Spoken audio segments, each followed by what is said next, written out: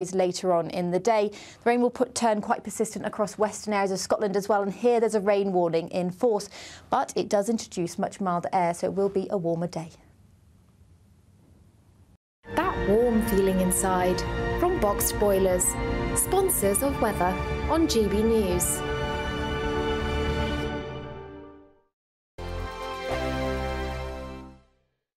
This is your chance to win our biggest prize of the year so far. First, there's a totally tax-free £10,000 in cash for you to spend this summer. Then, we want to send you on a bespoke seven-night small boat cruise for two worth £10,000. Thanks to Variety Cruises, you'll be able to choose from any of their 2025 Greek adventures and discover Greece like never before. And with flights, meals, drinks and excursions included, all you have to do is relax. We'll also give you these terrific travel Join me, Camilla Tominey, every Sunday at 9.30 when I'll be interviewing the key players in British politics and taking them to task. This report basically says that he's not fit to stand trial. With an upcoming election looming over Westminster, now is the time for clear, honest answers. I agree. And that's precisely what I'll get. Is he indecisive? Incompetent? That's the Camilla Tominey Show at 9.30 every Sunday on GB News, the People's Channel, Britain's election channel. I'm Patrick Christys. Every weeknight from 9, I bring you two hours of unmissable, explosive debate and headline-grabbing interviews. What impact has that had? We got death threats and the bomb threat and so on. Our job is to do what's in the best interest of our country. You made my argument for me. My guest and I tackle the issues that really matter with a sharp take on every story. I'm hearing it up and down the country. That was a beginning, not an end. Patrick Christys tonight from 9pm only on GB News, Britain's news channel. Are the newspapers getting you down? My wife didn't divorce me that month. Struggling to separate the wheat from the chaff? I know that it's a bit of a circus at the best of times. well, don't worry. Headliners has got you covered. We'll take the burden of reading the day's news, and if we get depressed, who cares? It's an occupational hazard, frankly. That's Headliners on GB News from 11pm till midnight, and the following morning, 5 till 6am on GB News, the comedy channel. Nah, just kidding. Britain's news channel. I'm Christopher Hope. And I'm Gloria De Piero, bringing you PMQs live here on GB News. Whenever Parliament is in session on a Wednesday at midday, we'll bring you live coverage of Prime Minister's questions. We'll be asking our viewers and listeners to submit the questions that they would like to put to the Prime Minister, and we'll put that to our panel of top politicians in our Westminster studio. That's PMQs live here on GB News, Britain's election channel. 2024, a battleground year. The year the nation decides. As the parties gear up their campaigns for the next general election. Who will be left standing when the British people make one of the biggest decisions of their lives? Who will rise? And who will fall? Let's find out together. For every moment, the highs, the lows, the twists and turns. We'll be with you for every step of this journey. In 2024, GB News is Britain's election channel.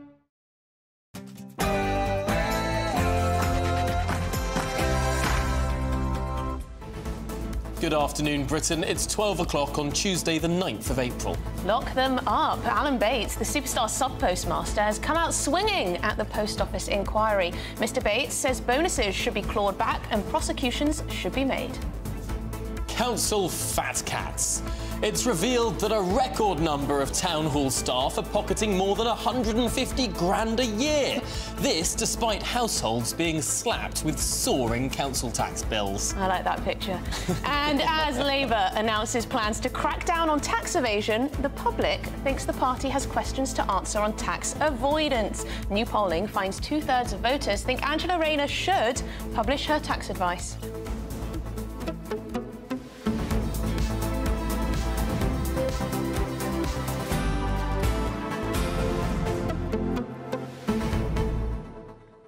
Now we're going to go live to Downing Street to show pictures of the anticipated arrival of the president of Rwanda, Paul Kagame. He will be visiting number 10 this hour, shaking hands with the Prime Minister and no doubt discussing the particulars of the Rwandan plan. A plane is still yet to get off the ground.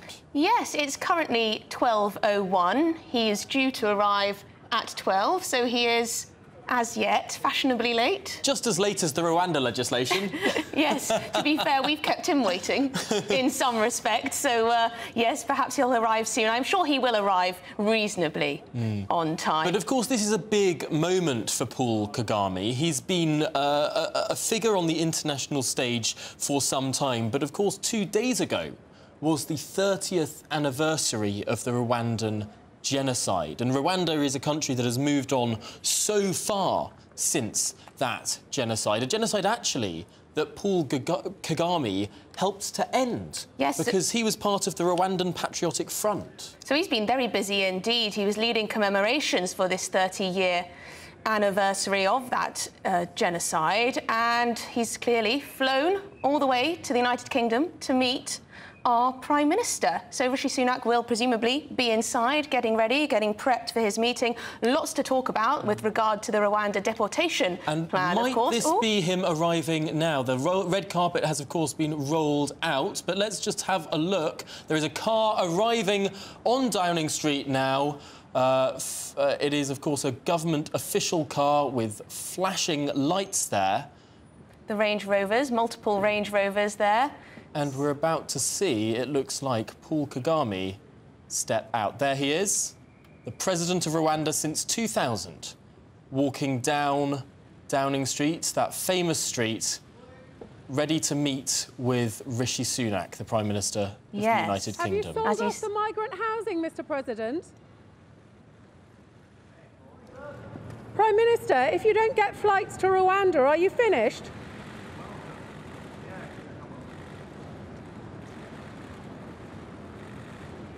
There we can hear shaking hands outside number 10. You could hear a journalist there calling out questions to Rishi Sunak the and the president. Shouts. The traditional shouts, of course.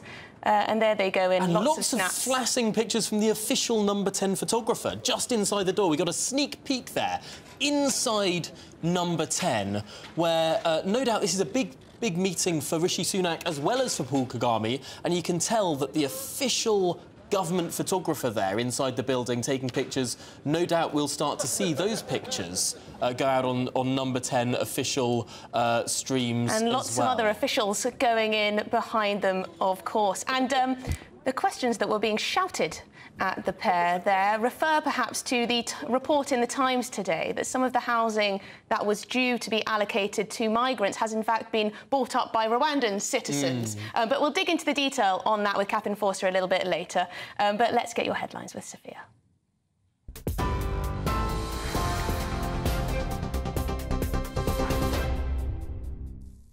Good afternoon. It's 12 o'clock. I'm Sophia Wenzler in the GB newsroom.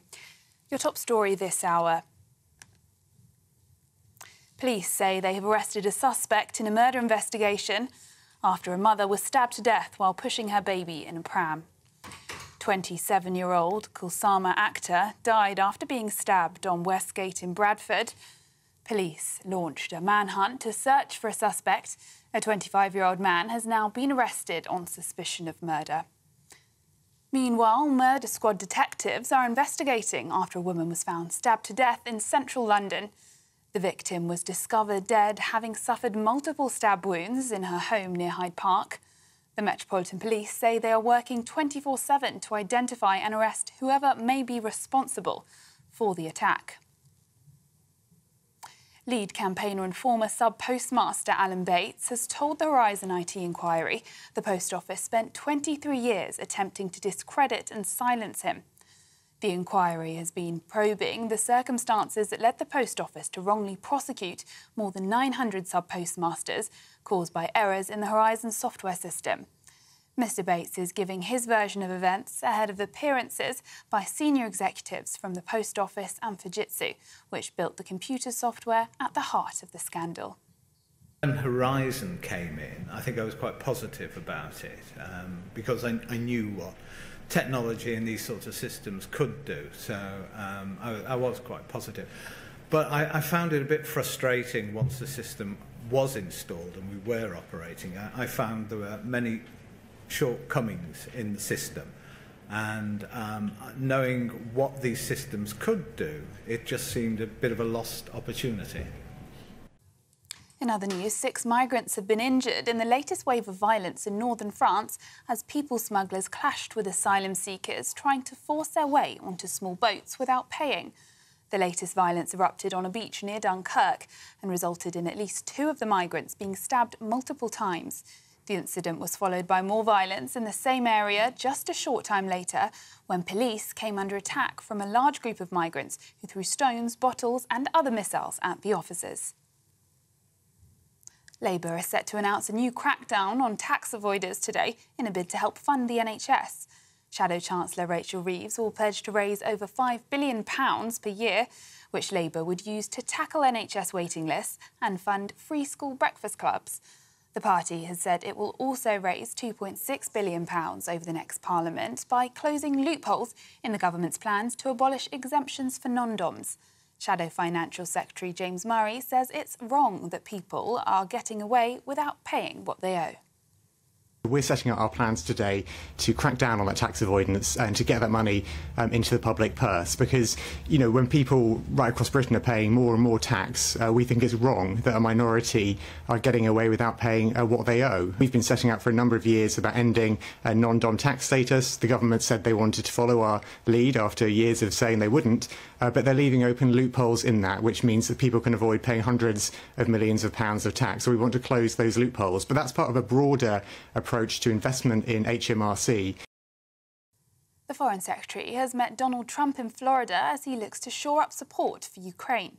Lord Cameron's meeting with Mr Trump follows reports claiming the former US president said he could end the Russia Ukraine war within 24 hours if re elected. The two men discussed the war in Ukraine, NATO, and the Middle East. It is the first summit between a senior government minister and the former president since he left office in 2021. Meanwhile, the Foreign Secretary will hold talks with the US Secretary of State Antony Blinken in Washington, D.C.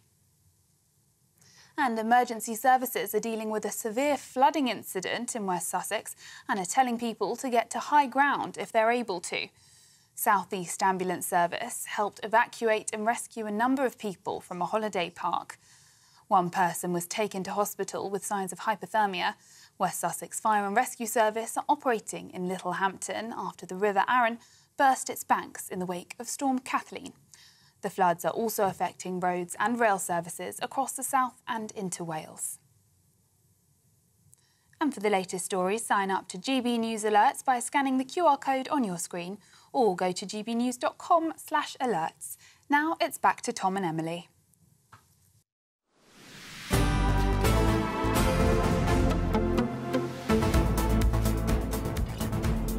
Good afternoon, Britain. Now we'll be back live in Downing Street in just a moment, as of course the President of Rwanda has just arrived, walking down the red carpet rolled out for him by Rishi Sunak.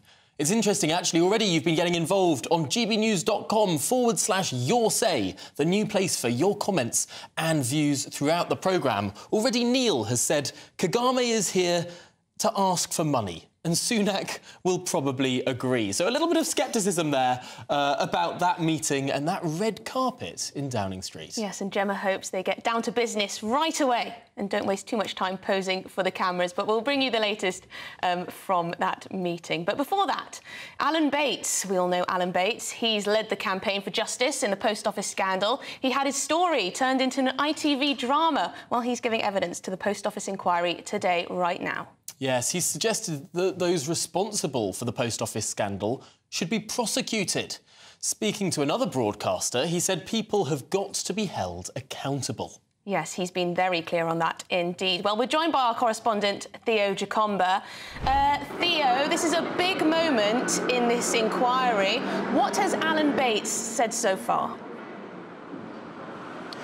Yes, well, it's been described as the most widespread miscarriage of justice, and Alan Bates today is giving evidence here at Aldwych House in central London. Now, in previous uh, parts of um, this inquiry, we've heard from sub postmasters and sub postmistresses from across the country. Over 900 of them were affected by this Horizon IT system, uh, which led to some of them um, going into prison and some of them uh, taking their lives. Now, today, um, Alan Bates has been giving evidence evidence here in central London, and he's been giving his experience and talking about how he noticed there were issues in the system, reported them, but they weren't taken seriously. This is some of what he's had to say so far.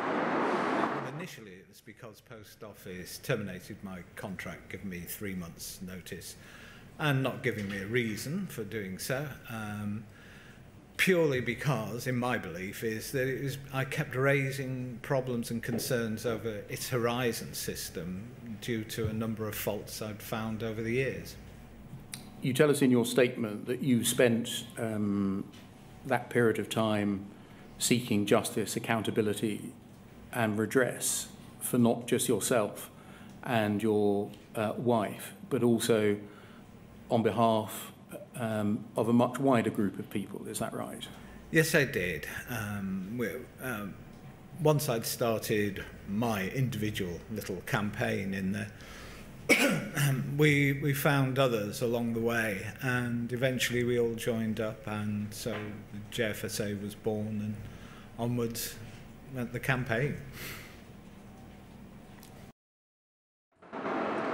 Now, Alan Bates is the first to give evidence in this phase five of this inquiry, and he'll be here uh, throughout the day uh, explaining uh, what happened during uh, his time when he worked uh, at his shop in Wales. Now, he uh, will be focusing, this particular part of the phase will be focusing on the issues of governance, uh, redress and whistleblowing. Now, of course, um, it has got into some technical details, uh, but of course, what's been at the heart of all of this is the stories of sub-postmasters like him um, who found themselves uh, with shortfalls in their uh, post offices, wanted to address them, um, but they weren't able to at the time. Uh, some went to prison and have gone on to attempt to seek justice. So far, we do know 95 wrongful uh, convictions have been overturned, and there were calls for government intervention, which has been put in place uh, to help some of those sub-postmasters and postmistresses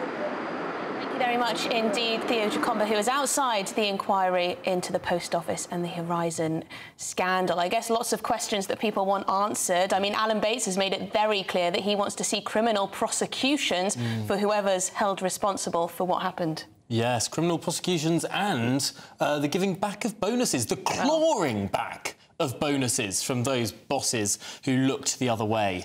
Much more on that to come, no doubt, throughout the afternoon. Uh, but now, two-thirds of voters think that Deputy Labour leader Angela Rayner should publicly reveal the tax advice on the sale of her former council house. That's according to a new poll. Yes, this is very interesting indeed, because lots of people have been very keen to downplay mm. the importance of this story, but Labour might not be cracking down on Rayner's tax problems, but they certainly are on Britain's they're saying, with Shadow Chancellor Rachel Reeves unveiling the party's new plans to get tough on what they call tax dodgers. But is this terrible timing for the Labour Party given the Rayner tax scandal? Well, we're joined now by Luke Tryl, the UK director of More in Common, the company behind this new polling. And, and Luke, just first of all, what did your poll actually reveal? So we asked uh, in this poll uh, whether the public thought that, given um, the coverage of uh, Angela Rayner's um, house sale uh, and the suggestion that the right amount of tax wasn't paid, whether she should publish uh, the advice that she was given, that tax advice. And what we found was that two thirds of voters said that she should publish that uh, advice. It was less than one in five that felt that she shouldn't. Uh, and I think the reason that this is particularly important, uh, and I think it's particularly important for Angela Rayner, because one of the things I should say is that Angela Rayner is a very popular politician with the public. In fact, when we do focus groups, people often say she's the only politician that speaks for ordinary people. She's authentic, she's relatable. And I think the challenge is by being seen to be evasive on this issue, she's she's undermining that reputation uh, with the public, and I think that's why this matters. Luke, do you think some people will be surprised by what you found with this polling, that about two thirds of the public want her to reveal her tax advice? Because there were lots of people, and of course, including the Labour Party, who want to sweep this story under the carpet. Lots of people saying, oh, she doesn't need to reveal her tax advice. She said she hasn't done anything wrong. That's enough. But it does seem like the public care about this story more than some might have hoped. Well, it's worth saying. I mean, it's, it's quite a complex uh, story in terms of trickling through to the public, and you know, the public are, are, often likely in poll questions to say they want transparency from politicians. But I, I do think this goes to showing that actually, you know, when faced with that question, the public say, actually, we, we would like to see this advice and be able to come to uh, our own judgment on what happened. And I think this particularly matters for uh, Labour as they go into the election because we know the public are very cynical, trust in politicians is very low. Um, there have been a series of, you know, what you might call scandals which have eroded that trust. And I think Labour will be determined to show, look, we're turning over a new leaf. We're going to be more transparent than what's come before. And I think by not being forward uh, with this advice, they're risking damaging that. So whilst I don't think you know this scandal is sort of you know fatal to Angela Rayner's career uh, in any way, I think it's the broader impact that it's likely to have on her brand, um, which mm. matters, which, as I say, is one of authenticity mm. uh, and speaking and saying it like it is. It's interesting, a lot of the time people refer to the Labour Party as a, a new iteration of, of, Tony Blair's Labour Party of 1997. And, and, with that leadership of the Labour Party back then in the 90s, you had the balancing act of, of Tony Blair and John Prescott. Blair was the, the slick former lawyer, and Prescott, of course, the more authentic working class voice. That balancing act really worked for New Labour in the late 1990s. Is there a risk now that that same sort of leader, deputy leader situation could be undermined by this scandal? I, I, think there is a risk, and I think the reason there's a risk is because it is abundantly clear that Angela Rayner can speak to a whole group of voters that Keir Starmer can't speak to. Actually, when you present them to voters uh, in a focus group as a package, they're actually much more positive about either of them uh, individually. And she does give Keir Starmer something else. We we know that you know people say about Keir Starmer, oh, you know, he's a bit lawyerly. I'm not sure how in touch he is. Uh, he's not perhaps that exciting. And actually, Angela Rayner brings something else, which is why, as I say, I think it would be, you know, a shame um, if uh, this scandal and the sense that she's been evasive undermined. Mm. That reputation, and as you say, posed a risk to that kind of that, that contrasting team, which seems to work quite well. And Luke, what about Keir Starmer's position on all of this? How's that going down? He's saying, essentially, my team have seen the advice, I have not myself seen the advice. What's all that about? well, I, am not sure uh, what it's about from his uh, perspective, but uh, but again, I would say you know we've seen if we look at some of the issues which have affected Rishi Sunak, it has undoubtedly damaged him personally when he's been seen to be too slow to act or not on top of what you know his ministers have been doing. And I think Keir Starmer might find himself in a similar position if he's not seen to be gripping this situation. Now that doesn't mean you know getting rid of Angela Rayner. Like we we don't know uh, the facts, and she's given very fulsome reassurances that she followed the advice and didn't do anything wrong. But I think that's why publishing this advice for both Angela Rayner and Keir Starmer could just be the easiest thing to do. Yeah, really, really interesting that Keir Starmer's saying continually that he doesn't need to see it, that he won't see it. Could he be insulating himself from anything down the tracks? Well, that is a question. But uh, Luke Tryl, for now, thank you very much for joining us and talking through your polling. Really appreciate it. Uh, UK Director of More in Common. It does also raise the question of how much... I know there are accusations against Angela Rayner, so that makes it a little bit different. But you often hear people saying there should be complete transparency. If you're a member of Parliament, you should reveal everything everything about your tax affairs? Mm. And that's an interesting question because I, to some extent, think, no, you shouldn't. Mm. It's already tough being in the public you know, in the public space as it is to be an MP and accountable mm. to your constituents. Should you have to reveal everything? Yeah, it's an interesting one because a couple of people in the uh, in the GB uh, Your Say GBNews.com Well forward slash Your Say our new comment system. Uh, Warren has said it's not about the amount she owes, it's not about the tax, it's about the hypocrisy. Because Angela Rayner and Keir Starmer last year uh, were saying that Rishi Sunak. Nadhim Zahawi, because he was in a tax scandal at the time, uh, uh, uh, the Deputy Prime Minister, they were saying all of those leading figures in the Conservative Party should publish their tax returns. But then now Angela Rayner's saying she doesn't want to publish her own tax advice. I, I mean, it Even can't be one rule for the government and a different rule for the opposition. Well, David Lammy essentially said that there should be. They're not in government, so therefore less scrutiny is required, which is an interesting argument when you're looking to become the next uh, government. Brendan says being evasive just means there is something to hide. That's how it can sometimes appear. We don't know if Angela Rayner has done anything wrong, whether she was given wrong tax advice. We simply don't know. And Keir Starmer, at the moment, is taking an interesting position. My team have seen the advice. I don't need to see the advice. I trust her. Is that enough for you? Clearly, it's not enough for the public. Mm, lots of people will be thinking, is Keir Starmer simply getting ready to throw his own team and Angela Rayner as well under the bus simply for self-preservation? But a does he need her? Does he need her to appeal to the masses? Mm.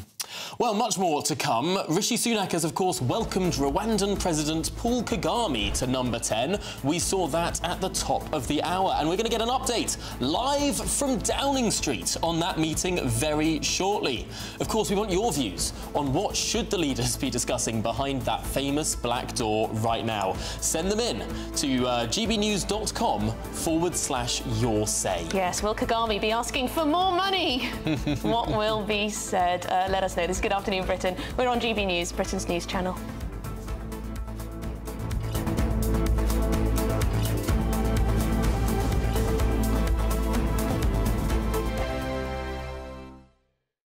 This is GB News, Britain's news channel.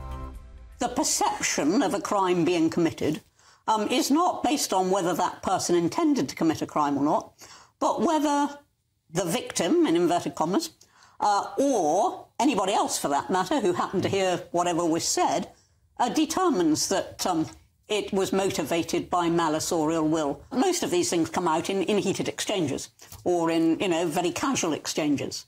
Uh, and then somebody says, oh, I'm offended or I'm hurt or I'm whatever because this was clearly uh, malicious and it's against me as a, uh, a, a black person um, or a, a transgender uh, or sexual uh, sexuality, whatever it might be. And somebody says, I perceive this to be uh, motivated by hate.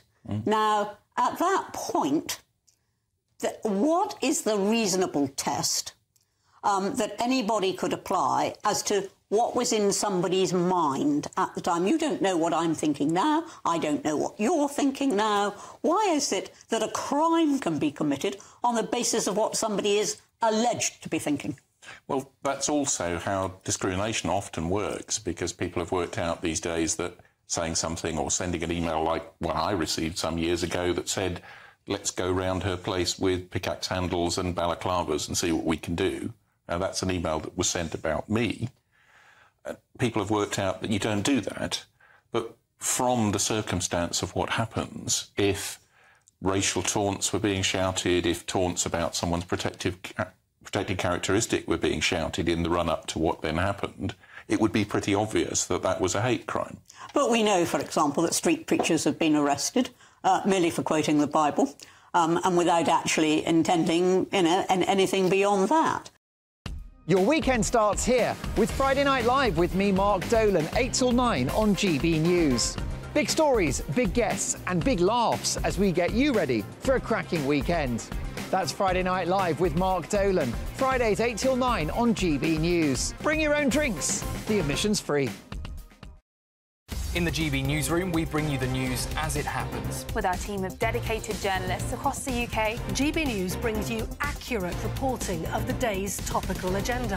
When the news breaks, wherever and whenever it's happening, We'll be there. This is GB News. the People's Channel. Britain's news channel.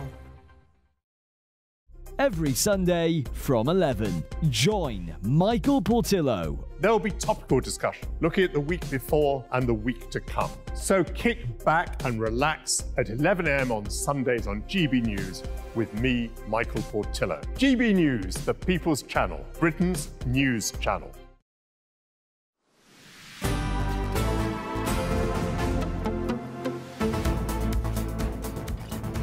Good afternoon, Britain. Live from Downing Street, where the president of Rwanda, Paul Kagame, is leaving after a 25 minute meeting with Prime Minister Rishi Sunak. You can see his motorcade just rolling out of Downing Street as we speak.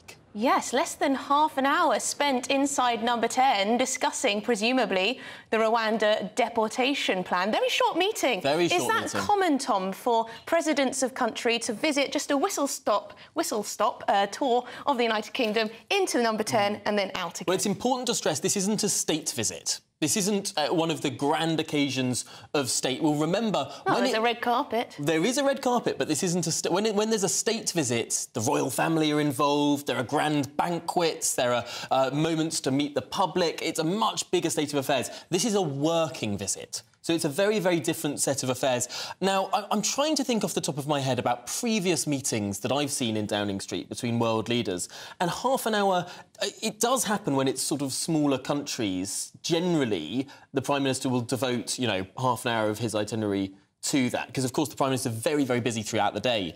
But I would have thought that Rwanda because it's not just any old small African country with a small economy. This is quite an important Well, partner hang of the United Rishi. Sunak's political career depends on Rwanda and depends, arguably, on his relationship with the president of Rwanda in terms of getting this stop the boats policy off the ground, the Rwanda deportation plan. I think it seems like quite a short amount of time. I think it does when you consider they'll have walked in. We saw the photographs being taken. We saw that peek through the number 10 door, that little intricate inside view of the number 10 official photographers taking those pictures. There will have been, no doubt, time before the meeting and after the meeting. How long were they actually sat down together for? Now, um, I'm going to be getting a readout of what they discussed from number 10 later in the programme, so we'll be able to tell you precisely what went on. Also, our woman on the ground, Catherine Forster, will be live in Downing Street for us. So some of these questions will be answered, but if you have anything you would like us to ask Catherine Forster live from Downing Street,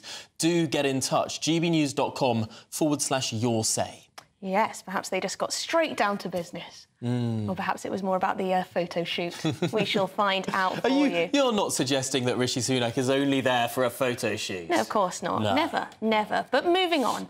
Now, a 25 year old man has been arrested in Aylesbury on suspicion of murdering a woman in Bradford on Saturday. Yes, 27-year-old Kulsuma Akter was stabbed in the neck while she was pushing her baby down the high street. Well, GB News Yorkshire and Humber reporter Anna Riley is in Bradford.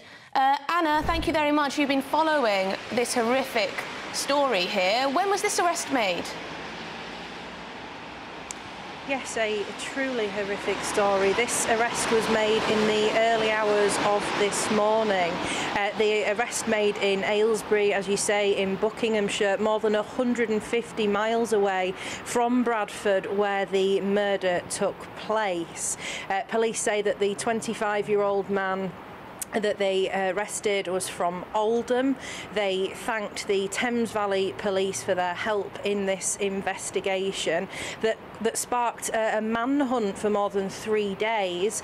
As part of their um, investigation, they've told us that they are no longer searching for Habibur Masum, but they've not yet named this 25 year old man that's been arrested. We're waiting on that. But like you say, just a truly tragic case. The uh, victim, 27 year old uh, woman who was stabbed to death in broad daylight while she was pushing her baby in a pram, just uh, was unfathomable for people that witnessed it. We spoke to Gio Khan yesterday. He was a shopkeeper who tried to assist uh, the woman as she lay dying and was helped with a, a passerby who was a doctor. They just described the scene, and he, the shopkeeper, told us that he knew her as well and that she visited his shop regularly for the past few weeks and that she was a happy woman that always had a smile on her face. So something that's really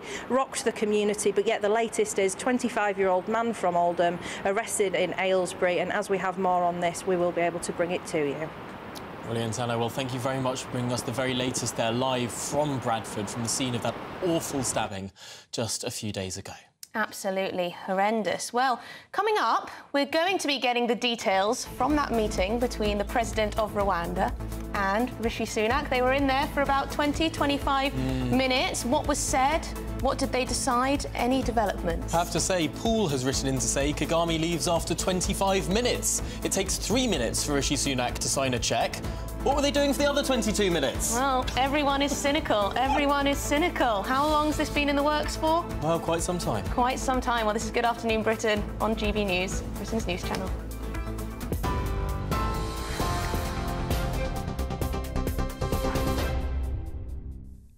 It's 12.31. I'm Sophia Wenzler in the GB newsroom. Your headlines. Police say they have arrested a suspect in a murder investigation after a mother was stabbed to death while pushing her baby in a pram. 27 year old Kulsuma Akter died after being stabbed on Westgate in Bradford. Police then launched a manhunt to search for a suspect.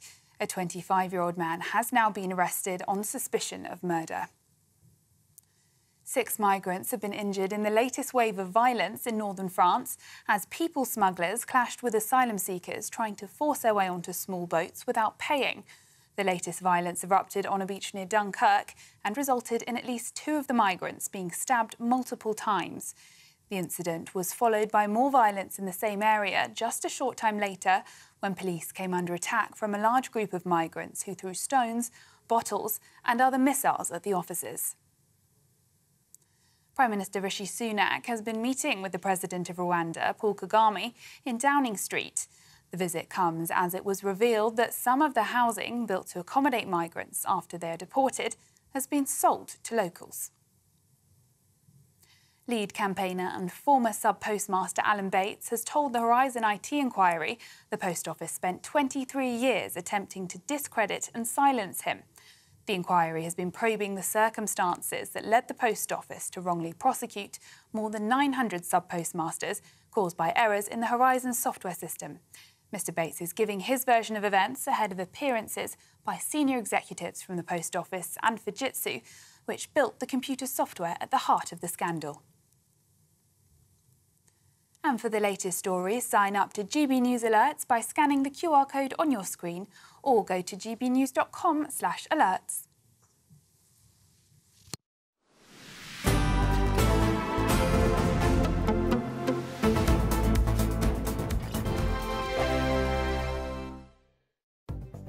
The latest GB News travel. Westbound on the M8, the entry slip road at junction 11 is partially blocked to flooding. Traffic is coping well. On the southbound side of the M18, there's a lane closure on the exit slip road to junction 2 for the A1M to a broken down vehicle. Again, traffic coping well there. As well as on the A1M southbound, there is a lane closure to emergency repairs from junctions 53 for Scotch Corner through to junction 52. Slow for the clockwise side of the M25, there's queue and traffic to an earlier accident just before Maple Cross at 17. Delays to junction 16, even though all lanes have reopened. London bound, though, on the M3, all lanes have reopened just after junction 4. An earlier broken down vehicle removed and traffic coping well. And that's the very latest. You can stay up to date throughout the day by visiting our website gbnews.com. GB News Breakfast. Every day from 6 a.m. It's the first time we've had an admission from someone who, these used to be very senior yep. in the party, saying that this election is not about winning, really, for the Conservatives now. It's about mitigating the losses. There is broad recognition that this election has already been lost and that it's about damage limitation. And it is really important because it's the difference between whether, if, you know, if Labour win a slim majority, then the fight is on for the next election, I know it seems silly to look five years ahead, but it does make a difference, mm. versus basically accepting that we have 10 years of Labour government ahead. Having an acknowledgement that the Tories are going to lose and lose badly, mm. um, disastrously, maybe, um, having that acknowledgement coming from somebody so senior is very demoralising for everybody else in the party. But also, doesn't it make it then look rather immoral for them to just drag on right through to maybe November? Personally, I think Rishi Sunak should name the date now I think you should name it for October or November. In terms of reform, if they're only four points behind the Conservatives in the latest poll, do we need to stop the narrative, which we have been using legitimately, saying, well, they're, they're, they're doing all right in the polls, but they won't win any seats? Do we need to change that perspective now? I think it's really difficult to say. It depends on Reform's electoral strategy. There's a lot of evidence that in certain parts of the country with certain demographics, they do have a really good chance. So I think if they target seats in the red wall, and other places where there's big disillusionment with the Conservatives and what they'd promised, I can't imagine that Reform are at the stage where they could take uh, masses of seats. It's more about that portion of the vote that they'll be taking away that I think is going to result in that massive Labour landslide.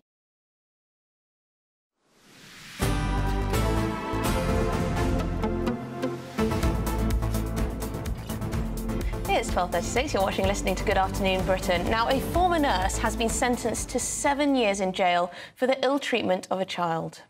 Yes, Tracy Menhinnick was found guilty of harming a child with laxatives over a three-year period, which affected his development.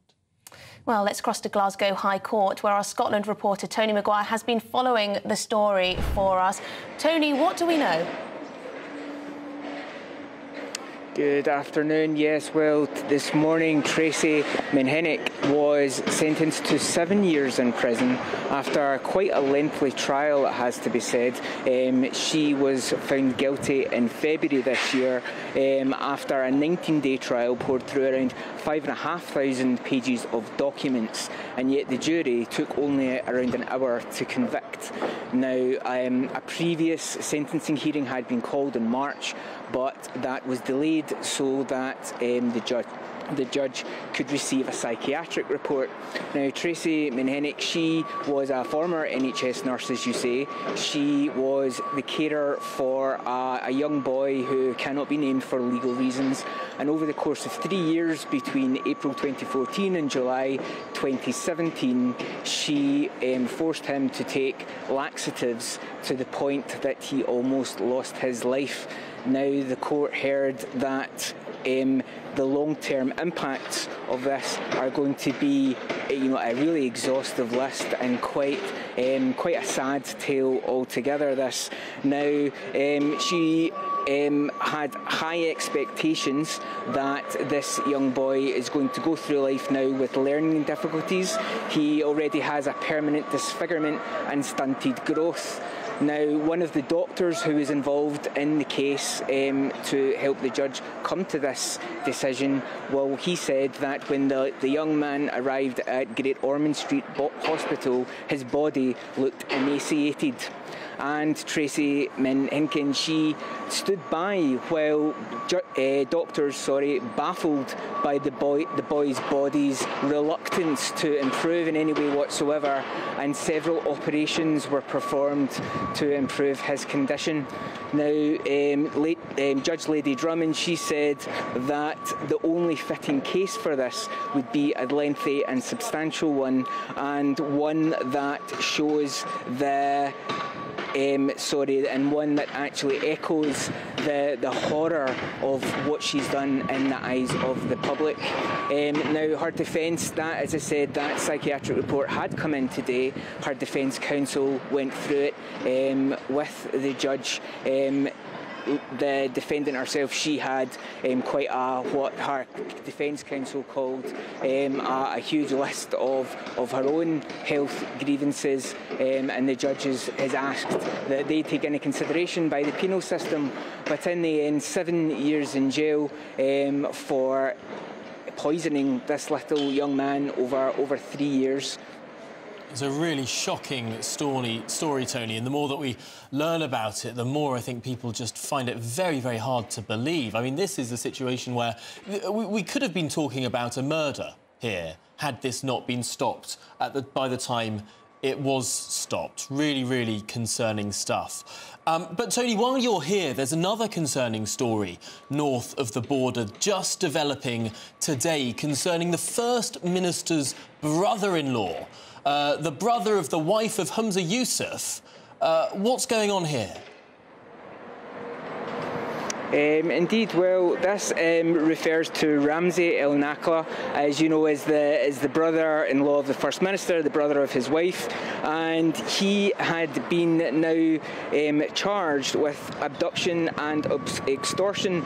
Now, this is all in relation to a case in Dundee where a man fell from a window and later died in hospital. Um, we know that he's the fourth person to appear really um, in connection to this. Um, someone last week, Jennifer Suter, um, 38, she appeared in Dundee Sheriff Court on Thursday last week um, of culpable, charged with culpable homicide. However, um, she did not enter any plea at that time, um, and certainly um, it's going to be yet another um, you know, heavy topic on the plate of the First Minister with everything that he's got going on in his day job. But as we've seen really over the last six months, um, you know, he he is is he has some experience now of balancing the severe personal life with the, the severe day job, as we say very much for bringing us that uh, live from uh, from Glasgow there. But of course, uh, Ramzi El Nakla, the, uh, the, the brother-in-law of the First Minister, he'll be appearing at Dundee Sheriff Court later on. Yes, arrested and charged with abduction and extortion following a man dying falling from a window. Hmm. Well, we'll bring you any updates as and when we get them. But in other news, a holiday park in West Sussex has had to be evacuated after a get to high ground warning because there's flooding, 65 mile per hour winds hitting the area overnight. The South East Coast Ambulance said uh, a number of resources were sent to help evacuate and rescue people from Medmerry Holiday Park. Yes, this all comes as high tides and strong winds led to coastal flooding in parts of Hampshire and the Isle of Wight. Let's cross to Ray Addison now, our GB News reporter, joining us from West Sussex. And Ray, I hope you can hear me over the wind. It does seem like uh, the weather has been pretty severe in this area. Absolutely. The, the advice from emergency services has been to find some high ground, and that's what I've attempted to do here. I've made my way down to Bracklesham Bay. Now, it's uh, between uh, Selsey and East Wittering, for those who know this part of the coast, uh, near to Chichester as well. Now, this um, Medmerry Park that we've been hearing about, around 100 people have been evacuated from there due to this severe flooding. Now, um, I'm tempting to make my way down there shortly. The, the floodwaters have started to um, withdraw, I've been told, but along the way I saw here the uh, Bracklesham Bay Caravan and Boat Park. I'm just going to move out of the way so you can take a look. So it shows you an indication now it's not just the Medmerry that is uh, struggling and has uh, needed the help from emergency services. When I was walking along here earlier on, there was teams, uh, emergency service teams with canoes uh, probing the water and going going from uh, chalet caravan to caravan, uh, checking to see if there was anybody there who needed help or needed uh, evacuation, presumably probing the water to see if there was anybody uh, that was struggling because of this water that has come in here. And you might just be able to see in the distance as well um, these uh, the sea there and those waves that are pounding in. The winds are around about 65 uh, miles an hour at the moment. Of course, right here here uh, on the coast and over the, overnight we saw those rising tides really affecting all of these holiday parks along here meaning that a number of them have actually been shut just getting back to uh, Medmerry. Now, the road in and out, there's only one very small country road in and out of, of Medmerry because it's quite a rural area around here. That's actually been blocked off by police. So They're taking people out, shut the park, trying to make sure that nobody gets into that area because of the severe concerns about these uh, the, the, the flooding from uh, the water here. Of course, we've seen a lot of rain as well, and there's a lot of been a lot of travel disruption, disruption to businesses as well due to the amount of rain that we've seen um, and flooding and pooling. So we've seen train disruption too.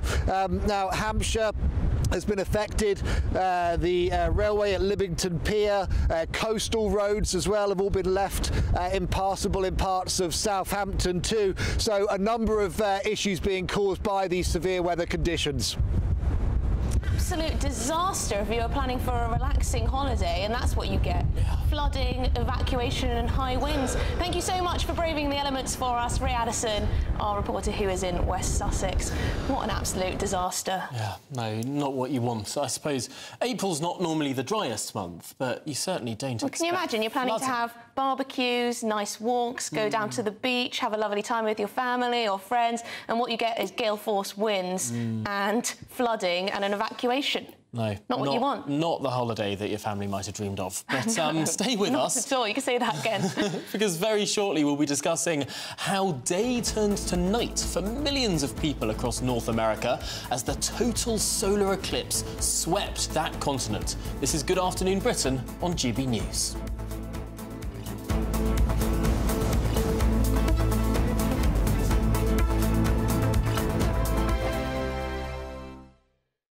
Hello, good morning. Welcome to your latest GB News weather update. Well, it's feeling much cooler out there today than yesterday. There are rain and wind warnings in force, but it will turn somewhat drier this evening.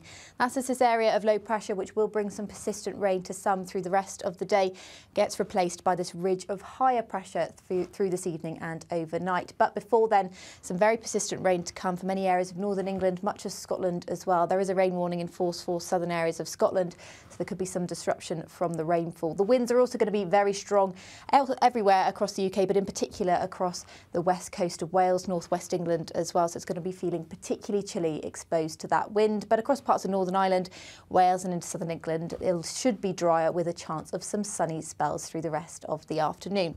Overnight tonight, the low pressure pushes away and it turns dry and clear for the bulk of the UK overnight. But that will allow temperatures to fall away. So it's going to be a chillier night than of late, with a touch of frost expected for parts of Scotland as well as northern England. However, from the west, we'll start to see cloud thicken through Wednesday morning. So Northern Ireland will likely see a bit of a wetter start. That rain will spread into South Wales, the southwest through the first hours of the morning and then elsewhere across the country later on. So after a brighter start, You'll likely see some rain and cloudier skies later on in the day. The rain will put, turn quite persistent across western areas of Scotland as well, and here there's a rain warning in force. But it does introduce much milder air, so it will be a warmer day.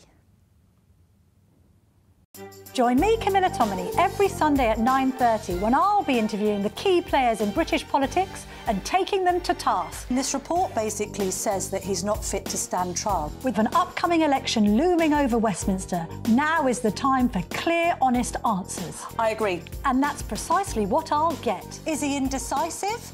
Incompetent? That's the Camilla Tominey Show at 9.30 every Sunday on GB News, the People's Channel, Britain's election channel. I'm Michelle Dewberry, and I'm not here to tell you what to think. I'd much rather hear what you have to say. So send in your opinions to gbviews at gbnews.com. Keep them clean, and you never know, I might read them out. With my panel here on Dewbs & Co, we debate, we get stuck into the issues of the day on a show where all views are welcome, especially yours. GB News, the People's Channel, Britain's news channel. I'm Patrick Christys. Every weeknight from 9, I bring you two hours of unmissable, explosive debate and headline-grabbing interviews. What impact has that had? We got death threats and the bomb threat and so on. Our job is to do what's in the best interest of our country. You made my argument for me. My guests and I tackle the issues that really matter with a sharp take on every story. I'm hearing it up and down the country. That was a beginning, not an end. Patrick Christys tonight from 9pm only on GB News, Britain's news channel.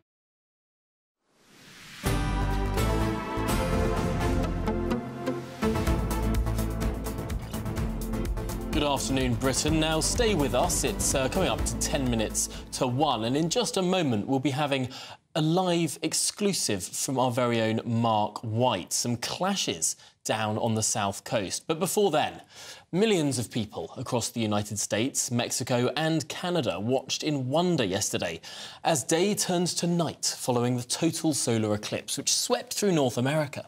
Yes, the moon completely covered the sun for over four minutes in some areas. However, back home in the UK, most areas missed out because of cloud cover.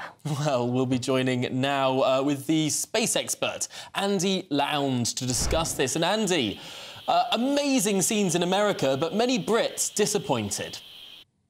Good morning. Yes, it was spectacular, wasn't it? it? it? was always going to be difficult for the UK anyway because the sun would be quite low in the sky and we're only going to get a partial eclipse. But across the USA what a, and, Canada and Mexico, what a spectacular sight it was. We managed to get to see quite quite an interesting set of data from that as well. We we managed to see the um, prominences, uh, beautiful red prominences popping up, which was beautiful and they stood out quite well. The corona looked absolutely fantastic. This was the, the white glow, the big white glow around the uh, the eclipse itself, which is really important. We don't see that unless we get an eclipse. So that was quite a, a wonderful sight to see that. We saw streamers coming from it as well. Again, um, the, the prominences and the streamers are all effects of the magnetic field on the sun itself. And that's really important now because we're at solar maximum, a maximum time of activity. And that photograph there shows it beautifully. It's fantastic corona. I mean, the important thing when we're studying this, the corona is, is about a million degrees centigrade and it's hotter than the photosphere, which is about 5,500 degrees. And the photosphere is the bright bit that we normally see. So once you block out that, you see this really hot uh, atmosphere of the sun. And we don't know still fully why the outer atmosphere of the sun is a lot hotter. It's a very great mystery for us. It could be to do with the magnetic fields and the prominences transferring energy, which is why spacecraft are out there looking at it. But what a spectacular sight for the public! And it was a good. It's another piece of evidence here that that science is far better than magic and superstition. science is the thing which can excite you. Yes, it's magical. Um, Andy, it wasn't all fun and games for everyone, though. I'm seeing that lots of people over in the States were, are complaining that their eyes are boiling as a result of looking at the solar eclipse. Even some who are wearing what glasses. Apparently, Andy, Google searches for eye pain spiked. Some people sit, aren't reading yeah. the advice, are they? Well, I think if you follow the advice exactly, then you would be absolutely fine. I mean, when when I did a, a, public awareness activity across Libya in 2006, we had a very strict regulation going on there. Uh, the rule was put your eyes down, put the put the glasses on, and hold them salute and look up and that actually gave you some shielding from the top and then you only did it for a short period of time then went down again and reversed the process if people just stood there looking directly which you should never do constantly and constantly of course you're going to get heat going into, into your face it's common sense mm. uh, but we're in a world where common sense will not be tolerated unfortunately um, but if people had followed the instructions in astronomy societies and universities i know for a fact we're out there giving good advice mm. then they should have been fine. It's beggars belief, isn't it? That it, it you can't just... regulate dum-dums, can yeah, you? I mean, my goodness, I, have I've just stared directly into the sun, googling why do my eyes hurt. I mean, I mean, my goodness me.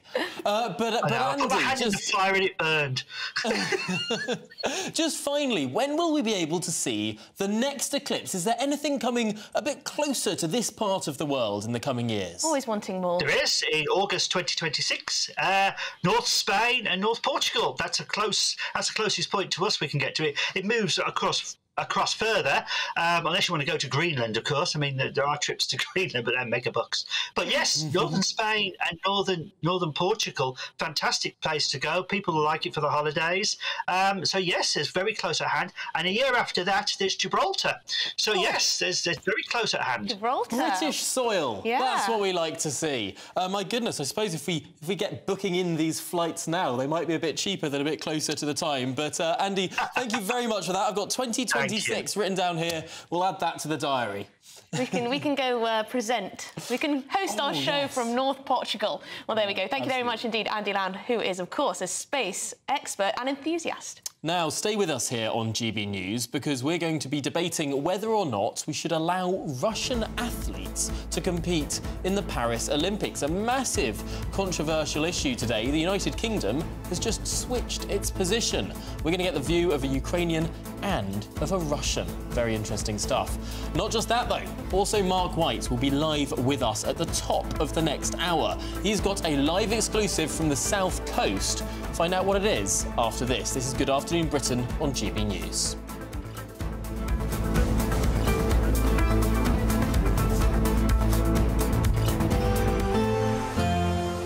A brighter outlook with BOXT Solar, sponsors of weather on GB News.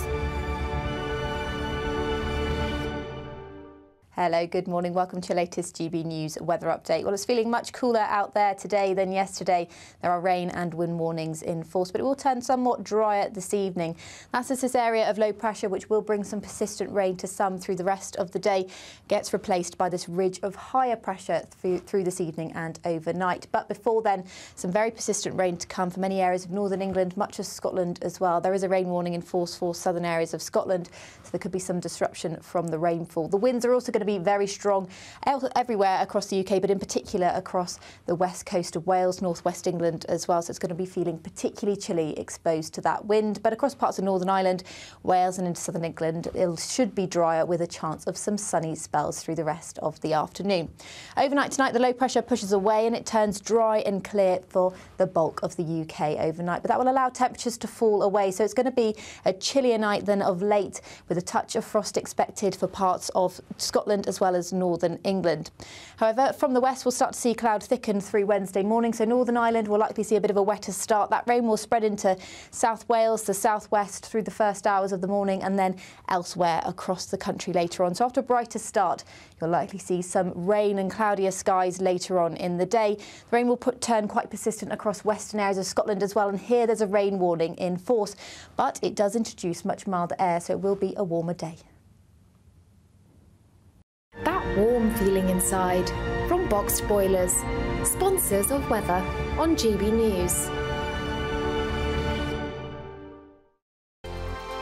Variety Cruises have been sailing since 1942, and thanks to them, you could set sail in 2025. You have the chance to win a seven night small boat cruise for two worth £10,000. With your flights, meals, drinks, and excursions included, you can choose from any one of their 2025 Greek adventures and find your home at sea. You'll also win an incredible £10,000 in tax free cash that you can use to make this summer spectacular. We'll also treat you to these luxury travel gifts. For another chance to win a prize worth over £20,000, text prize to 63232. Text costs £2 plus one standard network rate message. Or post your name and number to GB04 PO Box 8690 Derby DE1 9TT. UK only. Entrance must be 18 or over. Lines close at 5pm on the 26th of April. Full terms and privacy notice at gbnews.com forward slash win. Please check the closing time if listening or watching on demand. Good luck. GB News Breakfast. Every day from 6am. Cheryl Baker. Good morning, Cheryl. Good morning. When you think back to 1981, um, I mean, obviously the the the, the ABBA victory then wasn't all that long ago, nine years earlier. Do, do you think they had a huge influence then on the sort of direction that, that Eurovision was taking? Yeah, they did. They changed it completely. Because up to then, it had all been very and a bit posh, long frock, sticky bow ties, you know. And then they came along and they blew it out of the water. They looked so different. And they modernised it. And I think, yeah, it, it, it made a big change.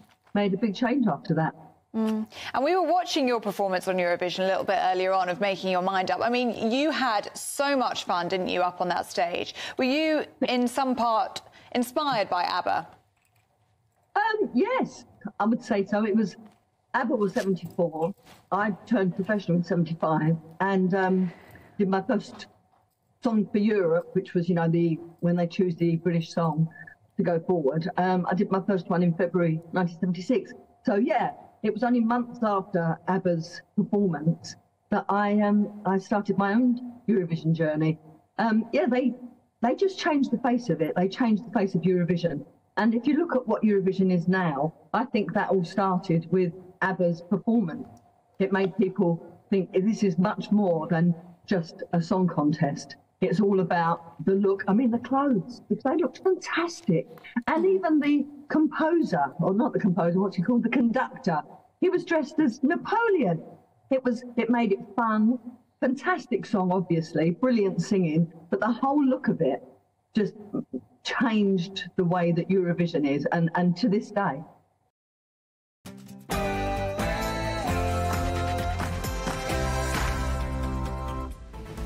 Good afternoon, Britain. It's one o'clock on Tuesday, the 9th of April. Lock them up. Alan Bates, the superstar sub postmaster, has come out swinging at the post office inquiry. Mr. Bates says bosses should be clawed back, bonuses should be clawed back from bosses, and prosecutions should be made.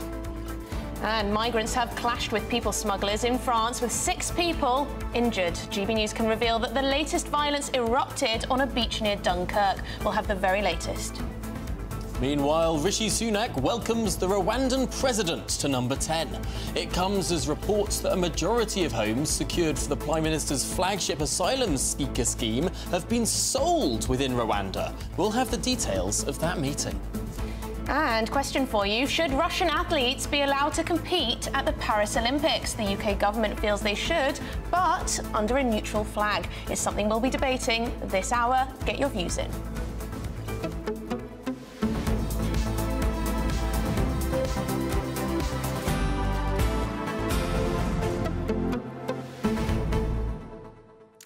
Yes, well, it's been reported that the government have sort of backtracked on their early, earlier position when it comes to Rus Russian athletes being able to compete in the Olympics.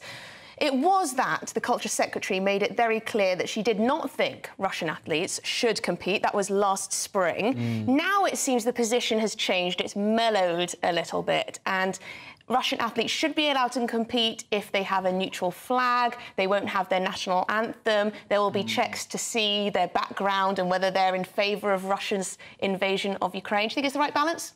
No, actually, because this is the balance that we saw in 2021 in those Olympic Games, where the Russian athletes competed as ROC, the Russian Olympic Committee. They had just a flag of the Olympic rings, they couldn't have their national anthem. Why is it exactly the same now as it was in 2021? That doesn't, to me, make any sense. And also, it just seems a little bit pathetic, doesn't it? What, so it you seems think weak in the face of aggression. So you think that all Russian athletes should just be banned outright, even though, as individuals, they haven't done anything wrong? Well, the Russian athletes in the past have done plenty wrong. Well, it should be done on a case-by-case basis, the, then. The, athletes from the USSR were, were, were absolutely injected up to their eyeballs with all sorts of performance-enhancing drugs. I'm just not sure when it comes to banning Russian athletes that it will have any impact on Vladimir Look, Putin we know the Russians aggression. cheat. We know the Russians cheat, and we know that Russian athletes have been banned for cheating in the past. That as well as the aggression of this of the Russian state. Two different, I mean, two different I think, issues. I though. think bad country, bad country should not be represented at the Olympics. But hang on, lots of people have been. I think you're wrong on this one. Okay. But I'm very interested to hear what the, you at home make of this. gbnews.com forward slash your say. We are going to be hearing the views of a Russian and a Ukrainian. They'll be debating it, going head to head in just a little bit. So make sure you get your views in. Who do you agree with? Who do you agree with? Do you think Russian athletes should be outright banned from taking part in the Olympics in this year?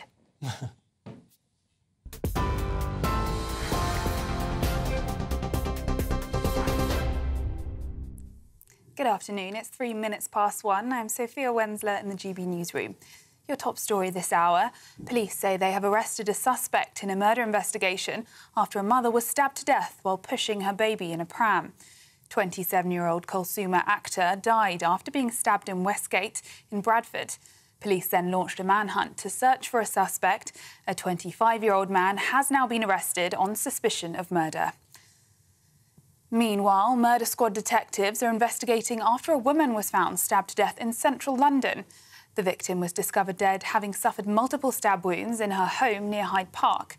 The Metropolitan Police say they are working 24 7 to identify and arrest whoever may be responsible for the attack. Lead campaigner and former sub postmaster Alan Bates has told the Horizon IT inquiry the Post Office spent 23 years attempting to discredit and silence him. The inquiry has been probing the circumstances that led the Post Office to wrongly prosecute more than 900 sub postmasters caused by errors in the Horizon software system.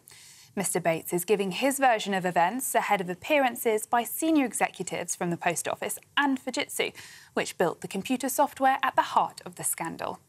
When Horizon came in, I think I was quite positive about it um, because I, I, knew what technology and these sorts of systems could do. So um, I, I was quite positive. But I, I found it a bit frustrating once the system was installed and we were operating. I, I found there were many shortcomings in the system. And um, knowing what these systems could do, it just seemed a bit of a lost opportunity. In other news, six migrants have been injured in the latest wave of violence in northern France as smugglers clashed with asylum seekers trying to force their way onto small boats without paying. The latest violence erupted on a beach near Dunkirk and resulted in at least two of the migrants being stabbed multiple times. The incident was followed by more violence in the same area just a short time later when police came under attack from large groups of migrants who threw stones, bottles, and other missiles at the officers. Meanwhile, Prime Minister Rishi Sunak has met the president of Rwanda, Paul Kagame, in Downing Street. The visit comes as it was revealed that some of the housing built to accommodate migrants after they are deported had been sold to locals. Labour is set to announce a new crackdown on tax avoiders today in a bid to help fund the NHS. Shadow Chancellor Rachel Reeves will pledge to raise over £5 billion per year, which Labour would use to tackle NHS waiting lists and fund free school breakfast clubs. The party has said it will also raise £2.6 billion over the next Parliament by closing loopholes in the government's plans to abolish exemptions for non DOMs. Shadow Financial Secretary James Murray says it's wrong that some people are getting away without paying what they owe. We're setting out our plans today to crack down on that tax avoidance and to get that money um, into the public purse because, you know, when people right across Britain are paying more and more tax, uh, we think it's wrong that a minority are getting away without paying uh, what they owe. We've been setting out for a number of years about ending non-dom tax status. The government said they wanted to follow our lead after years of saying they wouldn't. Uh, but they're leaving open loopholes in that, which means that people can avoid paying hundreds of millions of pounds of tax. So we want to close those loopholes. But that's part of a broader approach to investment in HMRC. And the Foreign Secretary has met Donald Trump in Florida as he looks to shore up support for Ukraine. Lord Cameron's meeting with Mr. Trump follows reports claiming the former US president said he could end the Russia Ukraine war within 24 hours if re elected. The two men discussed the war in Ukraine, NATO, and the Middle East. It is the first summit between a senior government minister and the former president since he left office in 2021. Meanwhile, the Foreign Secretary will hold talks with US Secretary of State Antony Blinken in Washington, D.C. And for the latest stories, sign up to GB News Alerts by scanning the QR code on your screen or go to gbnews.com slash alerts. Now it's back to Tom and Emily.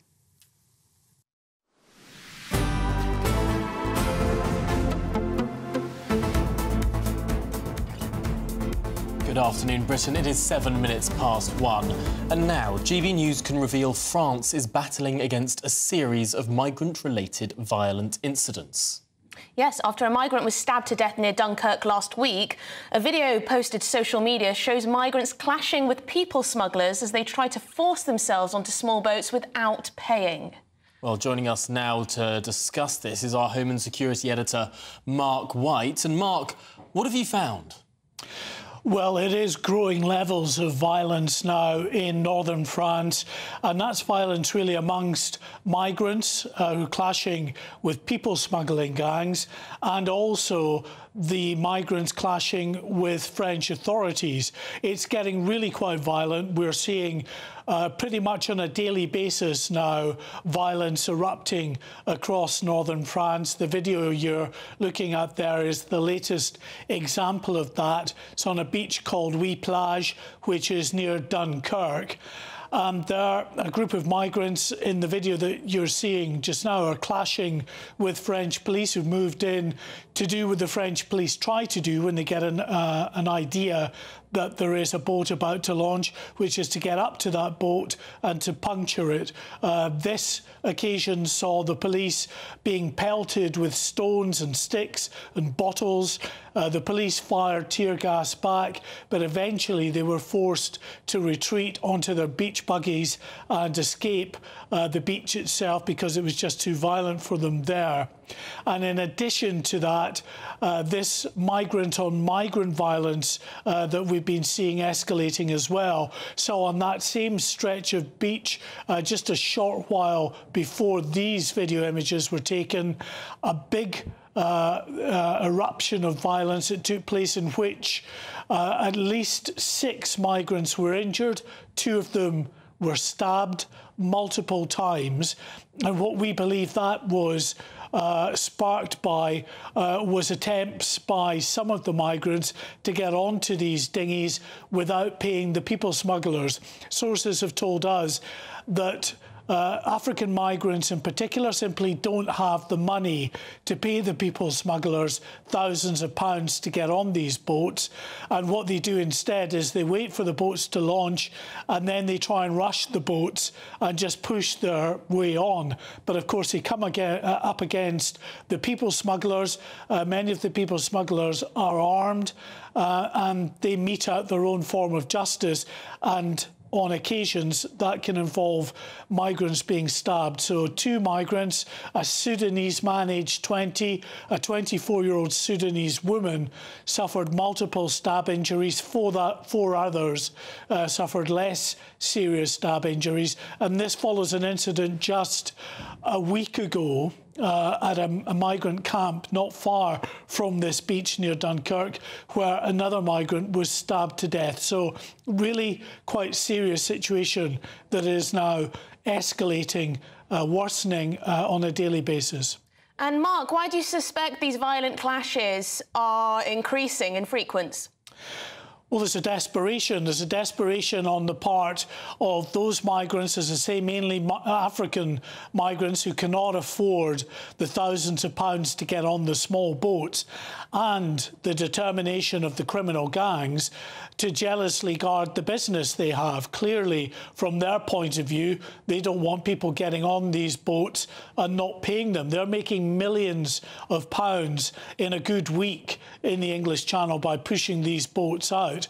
But because of that business model, just like the ruthless business model we see with the drugs industry, uh, these people smuggling gangs are just as ruthless in the way that they enforce the business model that they have. And anyone not willing to conform to that, anyone trying to push their way onto the boats, are dealt with very violently indeed. But as I say, that's one aspect of it. The other aspect is the fact that the French authorities are increasingly meeting. Uh, what is uh, quite a violent response from the migrants as the French continue with the tactics of trying to puncture those boats. It really does make you think for the people that are trying to enforce this. There are now uh, joint patrols in some areas of these beaches. Much, much British taxpayer money has been going to, to fund these patrols. But to be honest, you can see what a tricky, tricky task it is when they're met with such violence and resistance from some of these migrants. Uh, Mark White, thank you so much for bringing us the very latest there concerning scenes on those French beaches. Very concerning indeed. But of course, this all comes as Paul Kagame, the president of Rwanda, meets with Rishi Sunak. This was him leaving around half an hour ago. We can see pictures of the president leaving uh, number 10 Downing Street down the red carpet out onto uh, Downing Street and back into his Range Rover there. Um, so, what was going on in that meeting? What was said? Joining us now is our political correspondent, Catherine Forster. What do we know about why this meeting took place and what was discussed? Well, number 10 are being very tight lipped. When I spoke to them shortly after the meeting, we will be getting more information later, but quite a quick meeting, only about 20 minutes or so. The president only here uh, for one day, and it comes, of course, um, on rather an embarrassing day, given the story in the Times this morning that basically one of the estates that had been built to house the migrants that we're uh, supposed to be going to send to Rwanda, bear in mind this was a scheme first announced in April 2022, we still haven't managed to send a single person to Rwanda, that one of these housing estates, 70% of the houses have in fact been sold off to locals. This particular estate, the former Home Secretary Suella Braverman visited last year. She said the houses were beautiful. She said she wanted tips from the interior designer, um, but a lot of them have already been sold. So if and when these flights go to Rwanda or on that particular estate, uh, there's not many houses left for them. Now, Rwandan officials say, look, this was always the plan that uh, migrants were going to be integrated within the community. They said they never wanted to have what they called migrant ghettos. Uh, Suella Braverman, for her part, is already saying, well, I'm very disappointed to hear this because the whole point of the Rwanda plan was to send many, many hundreds of people to Rwanda. If it's just a token flight or two, that is not going to cut the mustard at all. So we'll see what emerges from this meeting later. Um, the Safety of Rwanda bill, of course, back in Parliament last week. The government hopeful still of getting flights off by the summer. Easter recess, Catherine, of Parliament ends on the 15th of April. The start of next week is a new parliamentary term. MPs return to their jobs. Are we expecting to see the Rwanda legislation finally get back to the House of Commons that very week? Yes, absolutely. Um, the government want to make this a priority, want to get this through. They hope it will get through Parliament uh, next week, as soon as Parliament gets back, basically, and then will pass into law by the end of April. They then expect uh, a few weeks, up to six weeks, getting everything ready before people finally get on flights to Rwanda. Um, one little bit of good news for the government. Uh, the European Court of Human Rights has basically toughened the criteria for an interim injunction to be granted. Remember, there was a plane with migrants on the tarmac, one by one. Uh, they were taken off by the European Court of Human Rights they have made it more difficult for that to happen because what they've said now is it will only be if there is an imminent risk of irreparable harm and it will only be used in exceptional cases. So let's see. Well, thank you very much indeed, Catherine. And please do come back to us when you have the details of what was going on in that meeting, when you hear from the Prime Minister and his team. I wonder what they'll put out. I have to say, talking to Catherine there, we had all those pictures. We saw, we saw the President walk in, sit down in a chair and then walk out, almost in real time. Across Are you suggesting entire... that maybe not that much was said? I'm saying I'm sure they had some lovely photographs taken. Well, in other news, Alan Bates, who led the campaign for justice in the post office scandal and had his story turned into an ITV drama, is giving evidence to the post office inquiry today. Yes, he's told the inquiry that the post office spent 23 years attempting to discredit and silence him, and that the cause of fighting for justice was something you just couldn't put down. Well, now we're joined by Vijay Parekh, a former sub postmaster himself, who was jailed after being accused of stealing £78,000 emitting theft. Thank you very much indeed for joining us. It's really great to get your perspective on this. You've gone through this yourself. Um, what are you hoping that this inquiry what are you um, hoping the outcome of this inquiry is? That the post office were wrong in prosecuting us and uh, get to the bottom of this. It's a, it's a simple ask, I suppose, that that people apologise because there have been so many people at the very top of so many of these institutions, people who have been at the top of so many parts of British society, who have been, frankly, trying to wash their hands of this, saying, it wasn't me, Gov, I didn't know.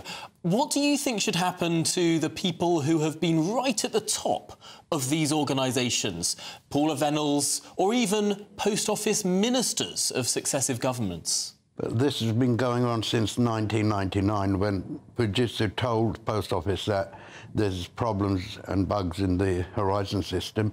So they've been hiding it, so they need to be prosecuted as soon as it's they can. And what would you say about Alan Bates? He has been a key figure in this campaign, trying to fight for justice for postmasters. Um, what would your words to him be today while he faces the inquiry? Well done, and ca carry on with the way he's working and helping all the rest of the postmasters who have had this problem.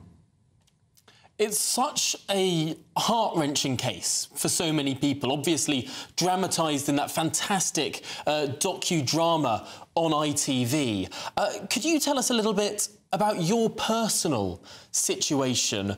Uh, what, what did you lose as a result of this faulty software and the refusal of post office management to admit it?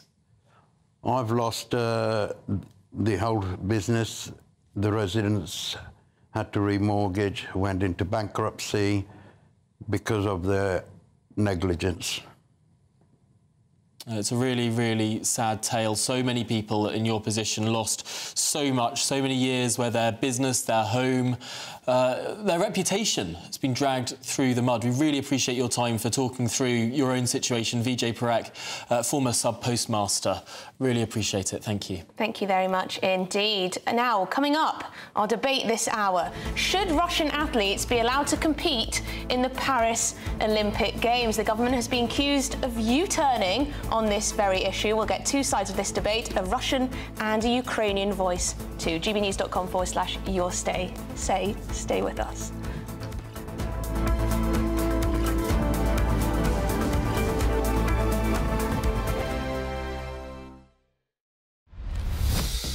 Farage, Monday to Thursday from 7 pm. Good evening. Well, I thought it was an absolutely knockout front page of a Sun that went online last night and was on display all over the country today. Union joke, and there is.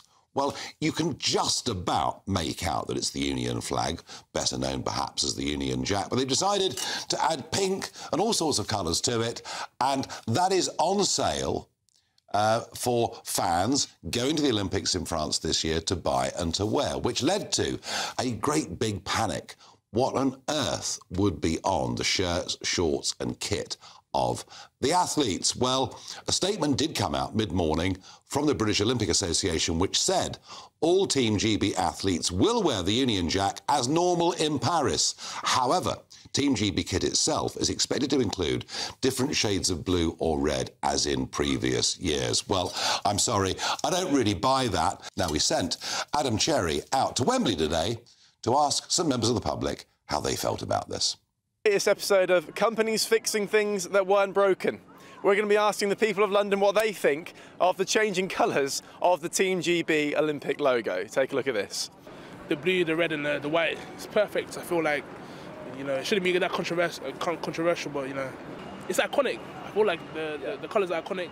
Everyone's known London for being, you know, red, white, and blue. I feel like it doesn't really represent England like that. Yeah, the, yeah. the colours of the like the colours are kind of random. I, I think it's very colourful. Mm. It's very uh, pinkish and uh, quite unicornish kind of thing. Yeah. A bit too unicornish for Team GB. A little bit. Disgusting. Well, we're British. Our colours are not pink and what purple and uh, like you know, some patterns on there. Yeah, it's all yeah, going crazy. That's not our flag. Yeah. That don't represent me. Your weekend starts here with Friday Night Live with me, Mark Dolan, 8 till 9 on GB News. Big stories, big guests, and big laughs as we get you ready for a cracking weekend.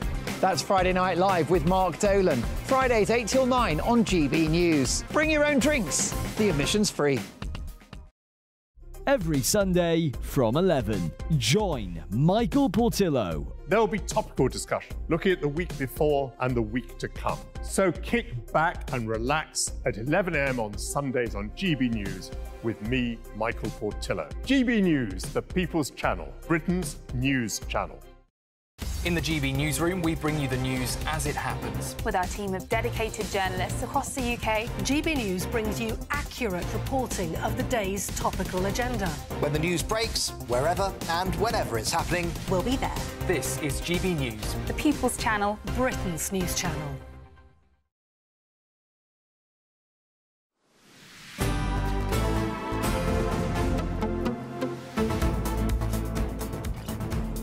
Good afternoon, Britain. It's 23 minutes past one. Now, we're talking the, this hour about the Olympic Games. Why?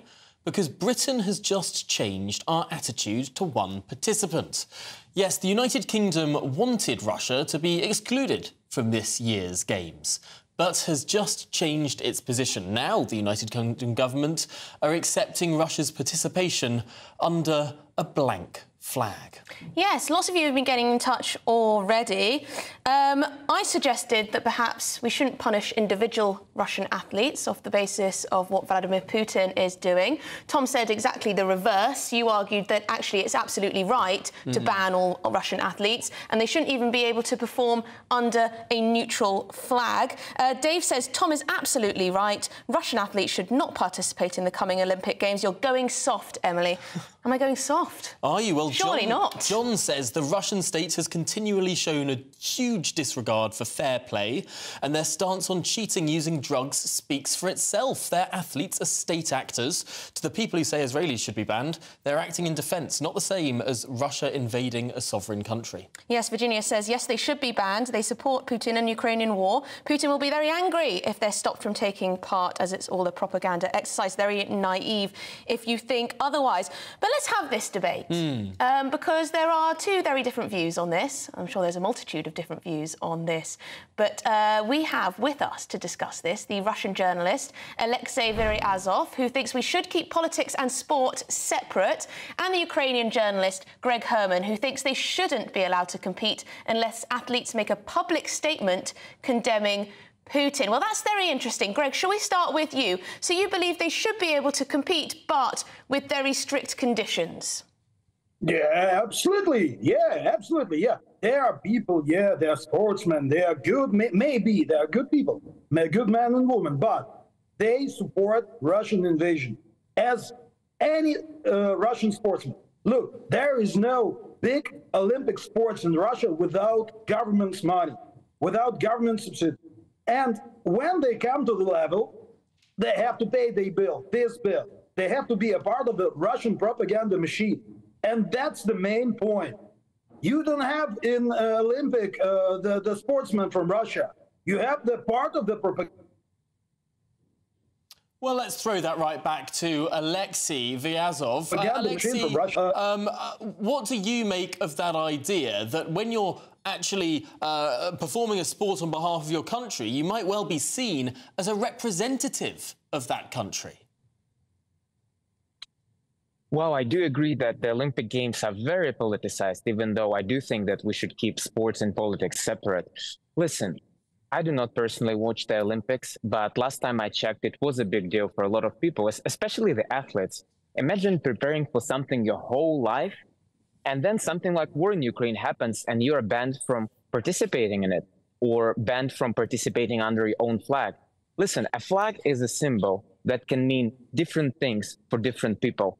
And the thing about Russian or Belarusian athletes, they do not have a different flag. They only have that flag. And Russian flag, listen, the, the British flag used to stand for colonization and it does no longer. And, you know, I was in Paris la- just last week, actually, and I was harassed by different people on two different occasions for wearing this Olympic sweater, which is the Soviet Olympic sweater. And it does not represent the invasion of Afghanistan or, or the occupation of Czechoslovakia. It's just a present given to me by my mom. And where I disagree with Greg, where I disagree with Greg, he says that Russian athletes participating in the Olympics gonna fuel the Russian propaganda. I think just the opposite. The Alexei, to, to Committee a lot of people looking at that sweater, Mhm. looking at the CCCP sweater there, which means USSR, which means USSR uh, in the in the Russian alphabet, and uh, i- wouldn't a lot of people be legitimately looking at that as a representation of a regime responsible for gulags, responsible for the slaughter of many people simply for, they, for, the, for the fact that they happen to own property, uh, responsible for the deaths of tens of millions of people in the last century?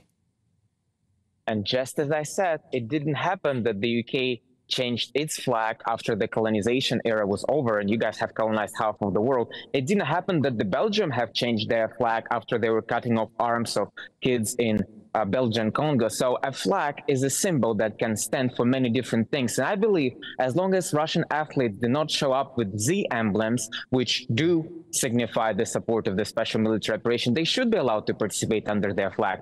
And as I was saying, the Olympic Committee banning Russian athletes from participating under their flag, that is exactly the thing that is going to fuel Russian propaganda. Because here at home, they will be told that, well, listen, we told you the whole world, mm. especially the West, is against you. That's exactly why you should stick with the regime and support the special military operation.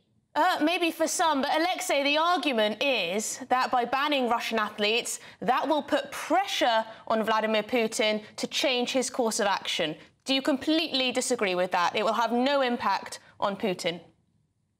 It's just a ridiculous argument because look at what Russia is doing now. Russia has organized games of the future. Russia will organize its own sports events. And if anything, such strong adamant opposition to Russia will put Russia on a pedestal and make Russia as the leader of uh, the whole world that is in opposition to the West. China will come, India will come, African countries will come. So you're just making a martyr out of uh, Putin's regime by excluding Russian athletes from participating in the Olympic Games. And listen, the motto of the Olympic Games was higher, faster, stronger, until recently when they changed it to higher, faster, stronger, together, which is supposed to symbolize the unifying nature of sports. And making, making sports political and excluding Russian athletes from participating or participating under their own flag, that's just bad image for the West and for the Olympic Committee. Of course, the Olympics has a checkered history when it comes to glorifying regimes that were expansionist and exterminist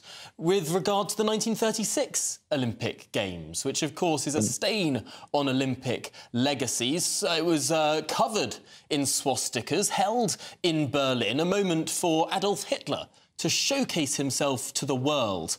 Might the uh, Olympic Committee be thinking uh, that they don't want to repeat the same mistake. They don't want to be glorifying any regimes that are expansionist or that are committing potential genocide.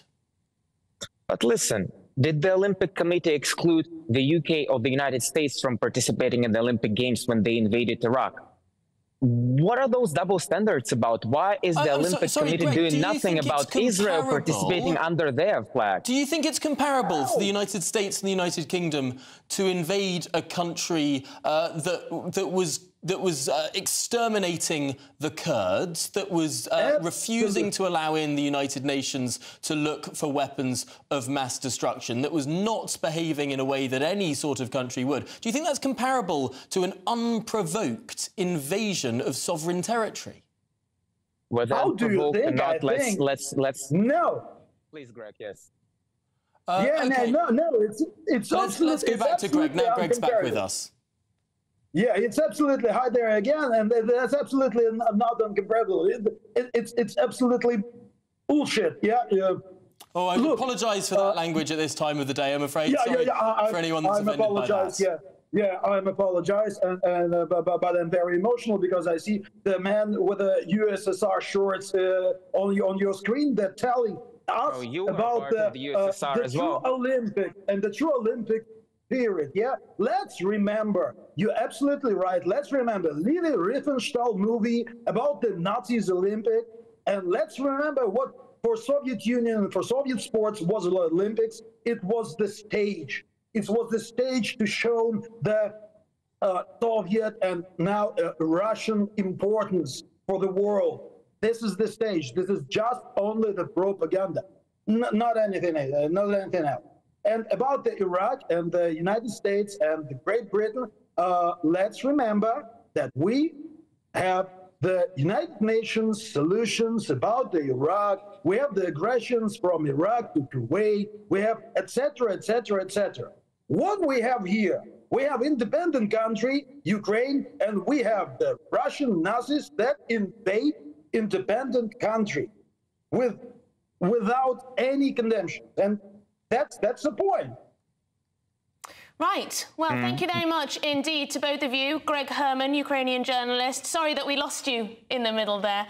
Um, and also to Alexei Virasov, Russian journalist there too. Thank it's a shame we lost Greg halfway through. Yes, no, but I think it was it wasn't interesting an insight, an insight. Uh, conversation. To what extent do uh, Olympians or athletes represent or, or, or speak for the countries that they are representing? I think far too often in history, we have seen regimes use their athletes as a sort of arm of legitimacy. Absolutely, we have indeed, and it's good to point out the uh, historical comparisons, mm. perhaps there, the parallels anyway. Now, in just a moment, we'll be discussing a child gender ID review, which is expected to advise that children should not be pushed into gender reassignment treatments, rather they should receive counselling to address associate, associated mental health issues. Now, this is a big, key review that's been long awaited, but let's get your latest news headlines.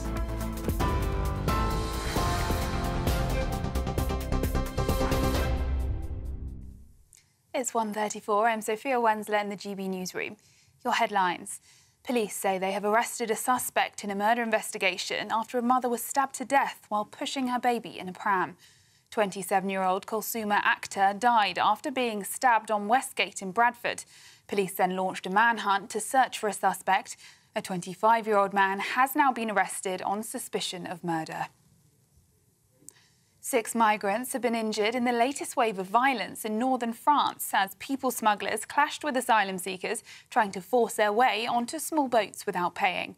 The latest violence erupted on a beach near Dunkirk and resulted in at least two of the migrants being stabbed multiple times.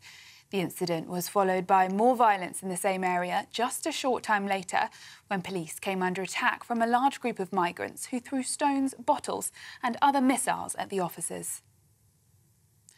Prime Minister Rishi Sunak has met the president of Rwanda, Paul Kagame, in Downing Street. The visit comes as it was revealed that some of the housing built to accommodate migrants there after they were deported has been sold to locals. Lead campaigner and former post, sub-postmaster Alan Bates has told the Horizon IT inquiry the post office spent 23 years attempting to discredit and silence him. The inquiry has been probing the circumstances that led the Post Office to wrongly prosecute more than 900 sub-postmasters caused by errors in the Horizon software system. Mr Bates is giving his version of events ahead of appearances by senior executives from the Post Office and Fujitsu, which built the computer software at the heart of the scandal. And for the latest stories, sign up to GB News Alerts by scanning the QR code on your screen or go to gbnews.com/alerts.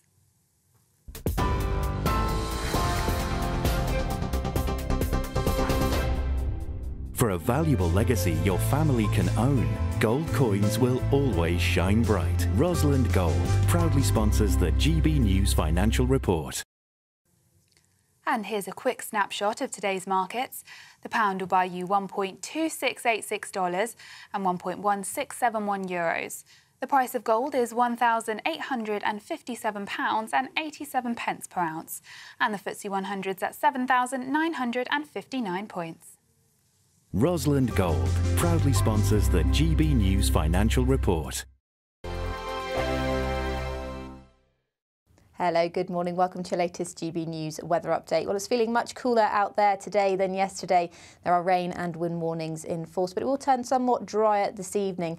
That's as this area of low pressure, which will bring some persistent rain to some through the rest of the day, gets replaced by this ridge of higher pressure through, through this evening and overnight. But before then, some very persistent rain to come for many areas of northern England, much of Scotland as well. There is a rain warning in force for southern areas of Scotland, so there could be some disruption from the rainfall. The winds are also going to be very strong everywhere across the UK, but in particular across the west coast of Wales, northwest England as well. So it's going to be feeling particularly chilly exposed to that wind. But across parts of Northern Ireland, Wales and into southern England, it should be drier with a chance of some sunny spells through the rest of the afternoon.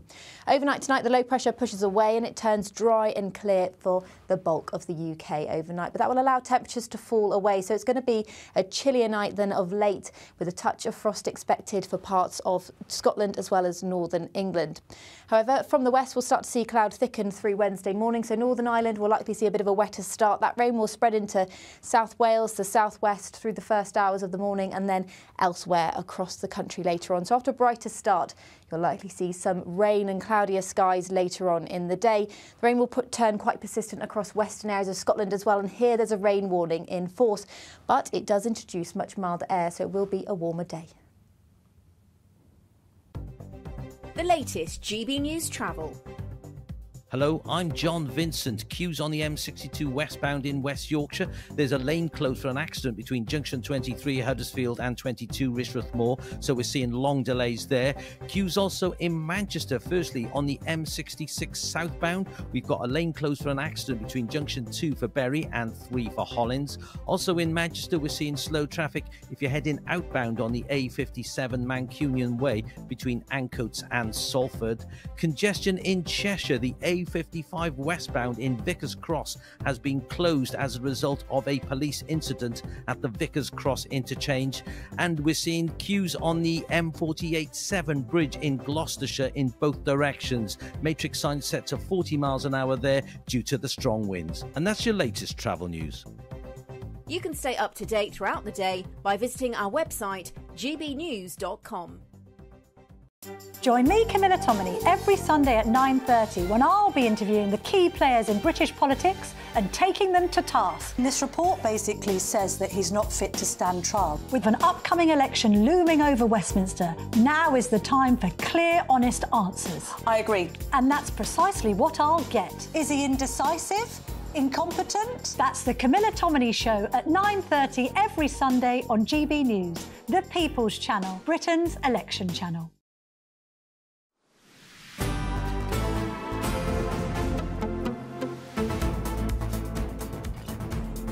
Good afternoon, Britain. It's 20 to 2.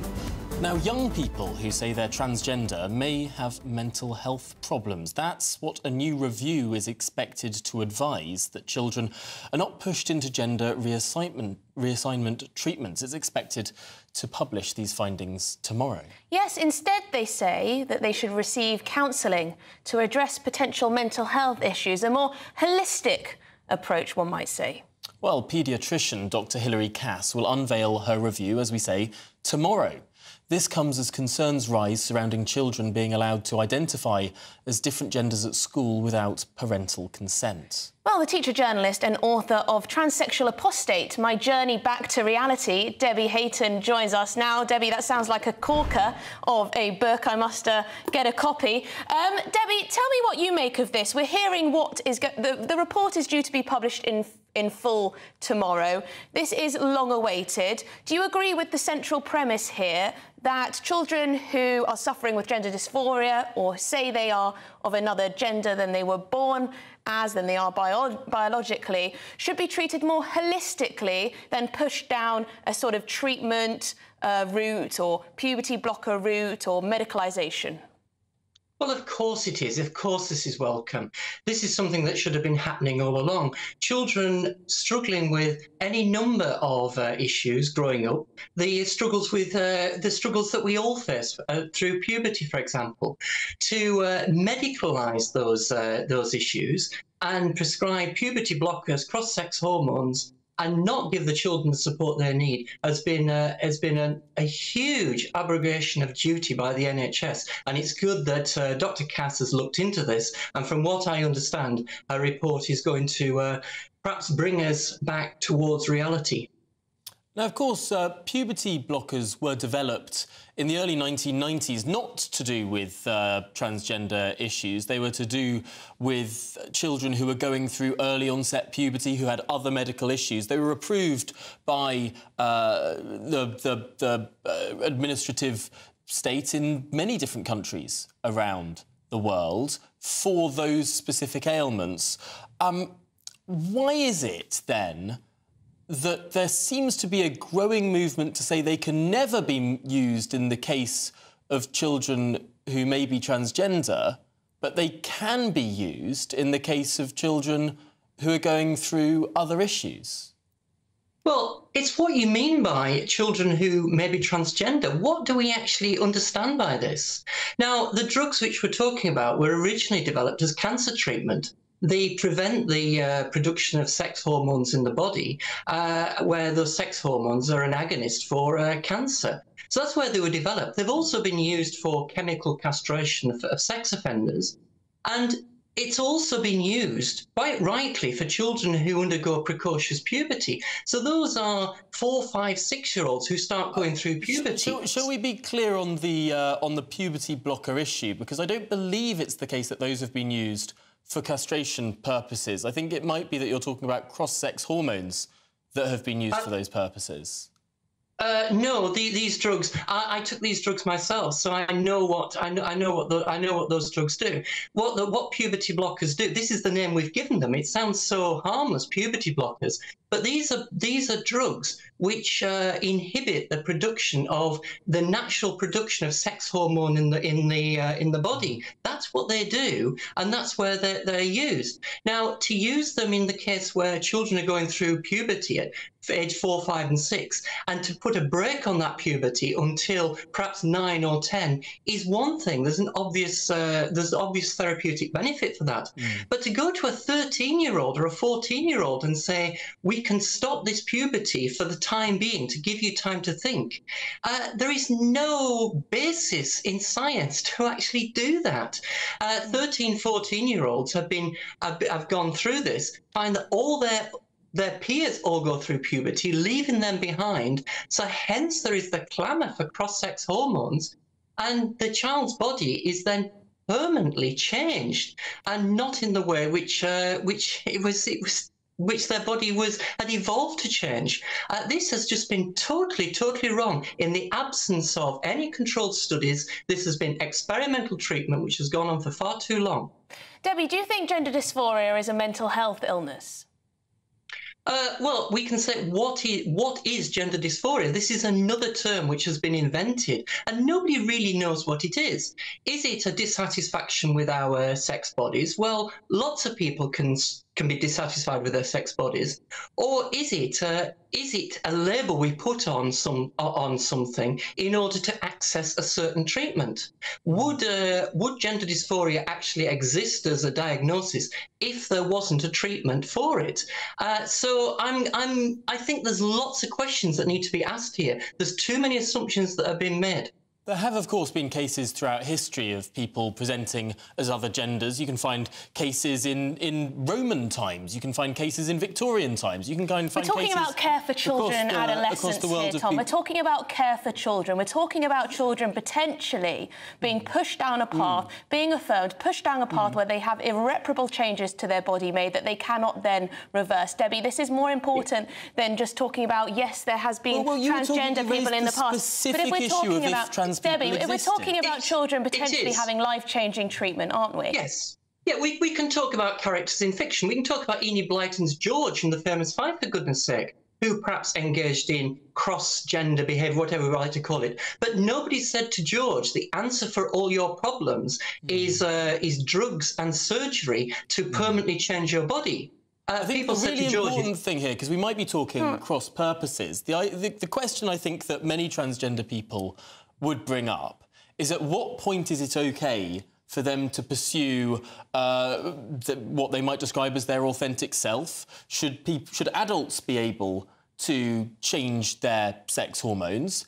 And then that leads to the question if there are people who really do believe that that is the path that they are destined for, that they must go on, in some cases, might that not be easier before their This voice? review is into the treatment of children and adolescents, which is the subject of this conversation, isn't it, Debbie? Yeah, and I think we can draw a line between adults and children. An analogy to take might be uh, might might be sterilisation treatment, vasectomies, for example.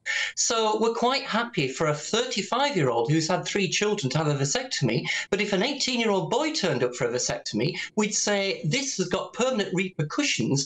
Go away and uh, go away and uh, come back later. So we're happy with that in in situations like that. And I don't see how this which can do exactly the same thing to our bodies, i.e., make them per- permanently sterile, should be treated any differently. Well, thank you very much indeed, Debbie Hayton. Great to get your opinion on all of this. Uh, teacher, journalist, and author of Transsexual Apostate My Journey Back to Reality. Well, thanks to Debbie, and I'm sure that everyone has lots and lots of views on that. Remember, of course, gbnews.com forward slash your say. But coming up, the warning to those in a holiday park battered by wind overnight, indeed, even flooding. We'll get to that story. We're on the ground after the break.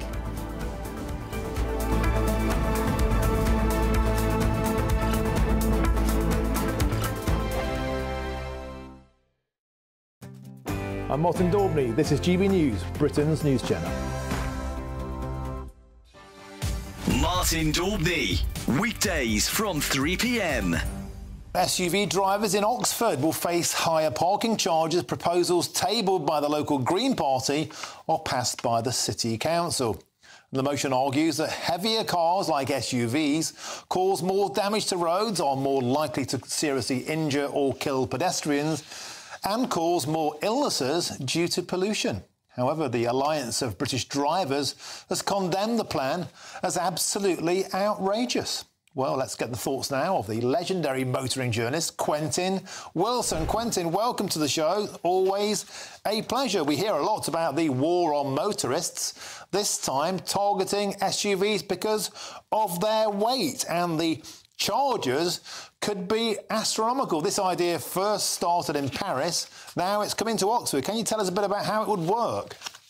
Okay, so the idea is that the, the, charges will penalize people who drive heavier SUVs, and I guess by implication, electric cars, although Oxford Council haven't said exactly what they're going to do with, with EVs. But this is all based around this notion of, of, of SUVs being heavier than passenger cars, therefore wearing out the roads more. Now, there was a study, I've got it here in front of me, from the University of Edinburgh in 2022 that said um, real world tests found that overwhelmingly the wear is caused by large vehicles, buses, heavy good vehicles.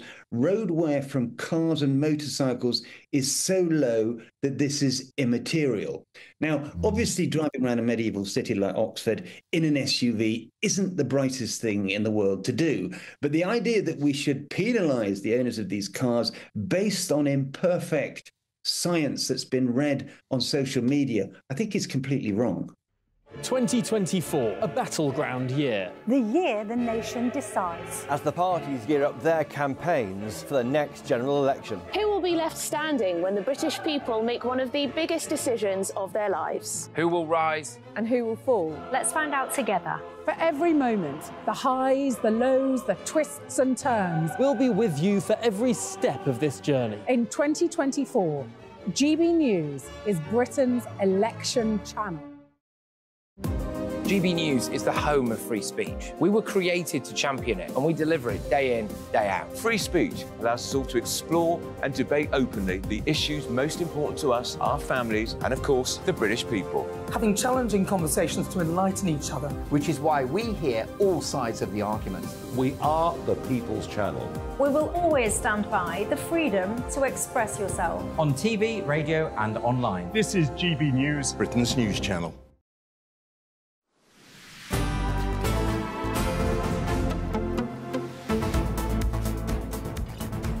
It's 1.51. Now we're going straight to a holiday park in West Sussex that's been evacuated after a get to high ground warning due to flooding and high winds. Let's go to our reporter, uh, Ray Addison there. Ray, what are the conditions like now? Well, still very, very windy, and the conditions in the park, although the water is starting to retreat, you can really see the effects of that severe flooding in there. There's quite a large amount of water still there. You can see that there's been damage to the decks, damage to people's cars as well as they've been moved around by those currents. And also there's been shifting of some of the buildings within that park too. Now, at least 100 people have been evacuated overnight due to that severe flooding. It's only around 100 metres from the beach here. And of course, these rising tides, that 65 mile per hour winds as well, has caused these problems. Now, I'm joined now by Andy Stevens. He's from the Windrush Letting Agency involved with this park. Andy, thanks very much for, for joining me. Now, you, you let a number of these properties to, uh, to tourists, to members of the public too. How are they reacting to this? Well, they've reacted very well. They've, they've, they've said that the services that came to rescue them um, behaved well, and Cove, the, uh, the company that owns this site, moved them all uh, over to uh, Seal Bay. And so we're very grateful for all of that. Um, but one customer, he contacted me this morning saying that he, um, he woke up about 1.30 and uh, he got out of bed because of the noise of the wind and he put his foot in water in the wow. bedroom. So that's how bad it was. Another customer, we've been in contact with all our customers, all the holidaymakers that are there, and another another one saw his car floating down. Um, so, but they all got out safely terrible, terrible situation to be in. Just quickly, obviously, it's not ideal for you either. You manage 15 of these properties. What state is your business in from, from this point on? Uh, sadly, it's uh, lost that part of the business at this precise moment. We don't know how quickly it can be returned, and it was sad because the business is actually up for sale at the moment.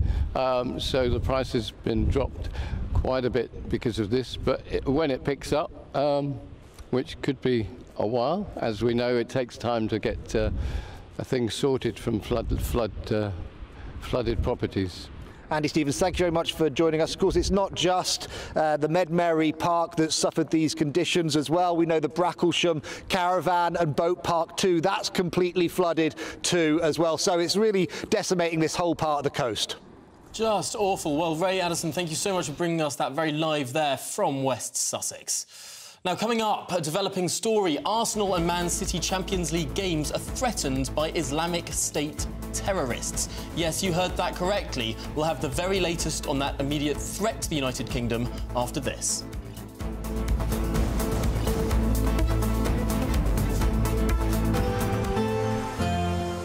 A brighter outlook with BOXT Solar, sponsors of weather on GB News.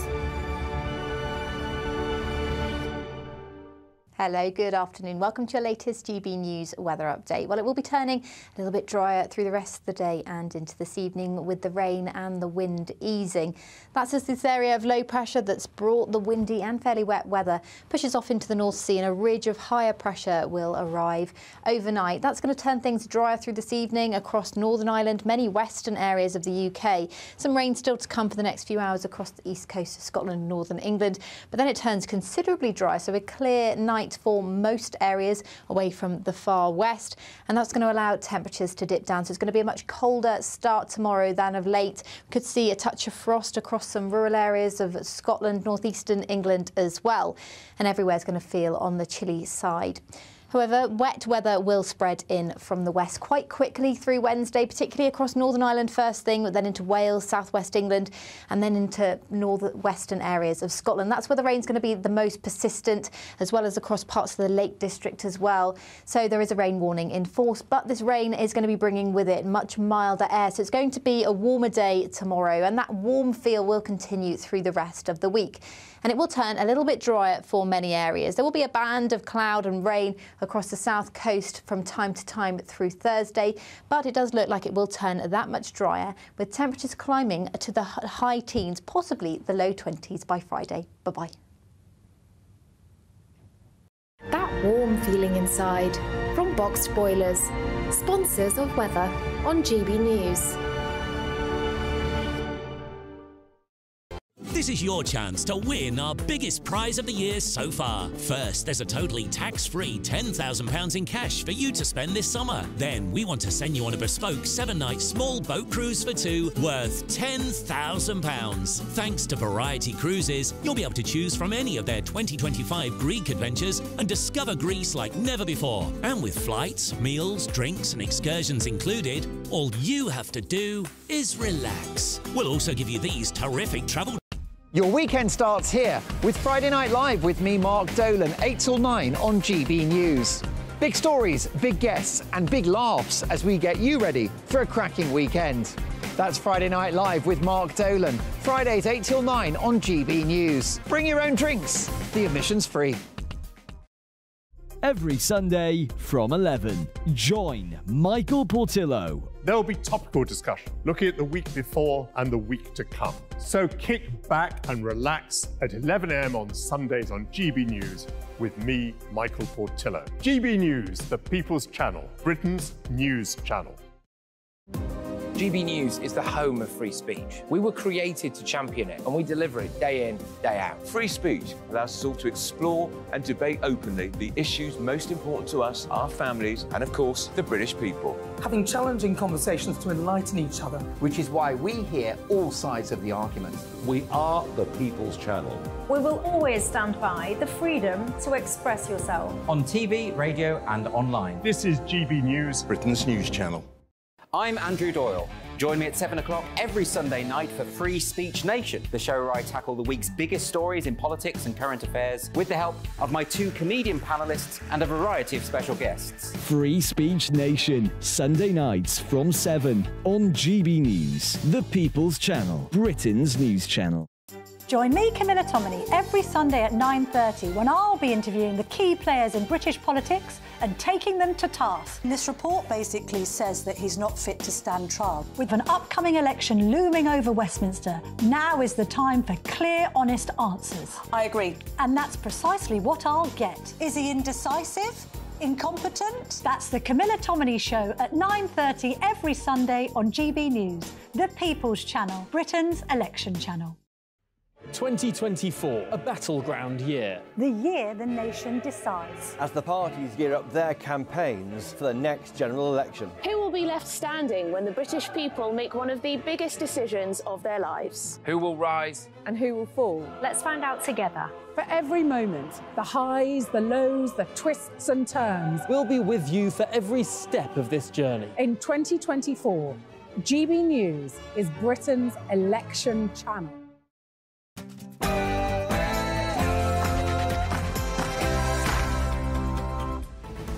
Good afternoon, Britain. It's 2 o'clock on Tuesday, the 9th of April. Now there's heightened security for Champions League games tonight. This comes after Islamic State supporting media published threats against these venues. Both Arsenal and Manchester City are in action. We'll bring you the very latest. Hugely concerning threats there. In other news, the Foreign Secretary Lord Cameron meets with Donald Trump in Florida, all before heading on to Washington, D.C. for talks. What on earth did they talk about? We'll speak to a former advisor of Donald Trump. And Council Fat Cats, it's revealed a record number of town hall staff are pocketing more than £150,000 a year. This despite households being slapped again with soaring council tax bills.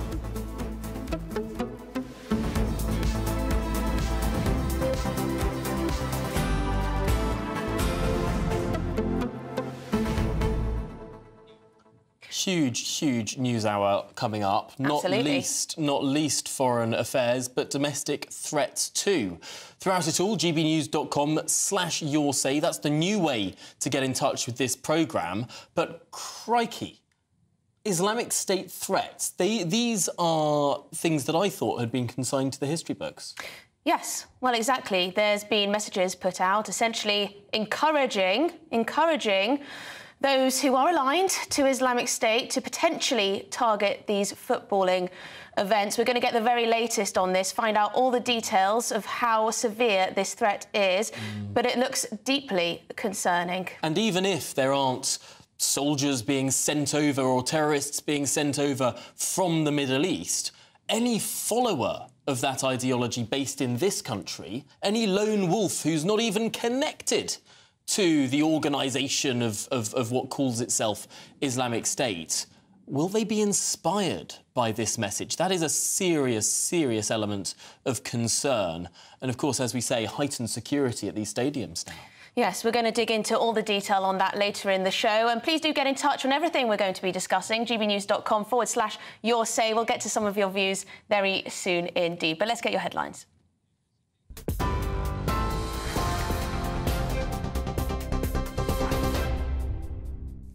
Good afternoon. It's two minutes past two. I'm Sophia Wenzler in the GB newsroom. Your top story this hour. Police say they have arrested a suspect in a murder investigation after a mother was stabbed to death while pushing her baby in a pram. 27-year-old Kulsuma Akter died after being stabbed on Westgate in Bradford. Police then launched a manhunt to search for a suspect. A 25-year-old man has now been arrested on suspicion of murder. Meanwhile, the Met Police has referred itself to the independent police watchdog after a woman was stabbed to death in central London. The victim was discovered dead, having suffered multiple stab wounds in her home near Hyde Park. Scotland Yard said officers were contacted on Sunday by friends of the woman who were concerned about her welfare. It was not until the next day that police forced entry to the woman's home. The Met Police say they are working 24 7 to identify and arrest whoever may be responsible for the attack. Lead campaigner and former sub postmaster Alan Bates has told the Horizon IT inquiry the Post Office spent 23 years attempting to discredit and silence him. The inquiry has been probing the circumstances that led the Post Office to wrongly prosecute more than 900 sub postmasters caused by errors in the Horizon software system. Mr. Bates is giving his version of events ahead of appearances by senior executives from the Post Office and Fujitsu, which built the computer software at the heart of the scandal. When Horizon came in, I think I was quite positive about it um, because I, I, knew what technology and these sorts of systems could do. So um, I, I, was quite positive. But I, I, found it a bit frustrating once the system was installed and we were operating. I, found there were many shortcomings in the system. And um, knowing what these systems could do, it just seemed a bit of a lost opportunity. Six migrants have been injured in the latest wave of violence in northern France as people smugglers clashed with asylum seekers trying to force their way onto small boats without paying. The latest violence erupted on a beach near Dunkirk and resulted in at least two of the migrants being stabbed multiple times. The incident was followed by more violence in the same area just a short time later when police came under attack from a large group of migrants who threw stones, bottles and other missiles at the officers. Meanwhile, Prime Minister Rishi Sunak has met the president of Rwanda, Paul Kagame, in Downing Street. The visit comes as it was revealed that some of the housing built to accommodate migrants after they're deported has been sold to locals. Labour are set to announce a new crackdown on tax avoiders today in a bid to help fund the NHS. Shadow Chancellor Rachel Reeves will pledge to raise over £5 billion per year, which Labour would use to tackle NHS waiting lists and fund free school breakfast clubs. The party has said it will also raise £2.6 billion over the next Parliament by closing loopholes in the government's plans to abolish exemptions for non-DOMs. Shadow Financial Secretary James Murray says it's wrong that some people are getting away without paying what they owe. We're setting out our plans today to crack down on that tax avoidance and to get that money um, into the public purse because, you know, when people right across Britain are paying more and more tax, uh, we think it's wrong that a minority are getting away without paying uh, what they owe. We've been setting out for a number of years about ending uh, non-dom tax status. The government said they wanted to follow our lead after years of saying they wouldn't. Uh, but they're leaving open loopholes in that, which means that people can avoid paying hundreds of millions of pounds of tax. So we want to close those loopholes. But that's part of a broader approach to investment in HMRC. More than 200 people have been evacuated in West Sussex after the River Arun burst its banks. South East Ambulance Service helped evacuate and rescue around 180 people from a holiday park. One person was taken to hospital with signs of hypothermia. West Sussex County Council said water levels have not yet receded, warning that flooding may increase throughout the day. It said those who have been evacuated remain displaced. The floods are also affecting roads and rail services across the south and into Wales. And for the latest stories, sign up to GB News Alerts by scanning the QR code on your screen or go to gbnews.com slash alerts. Now it's back to Tom and Emily.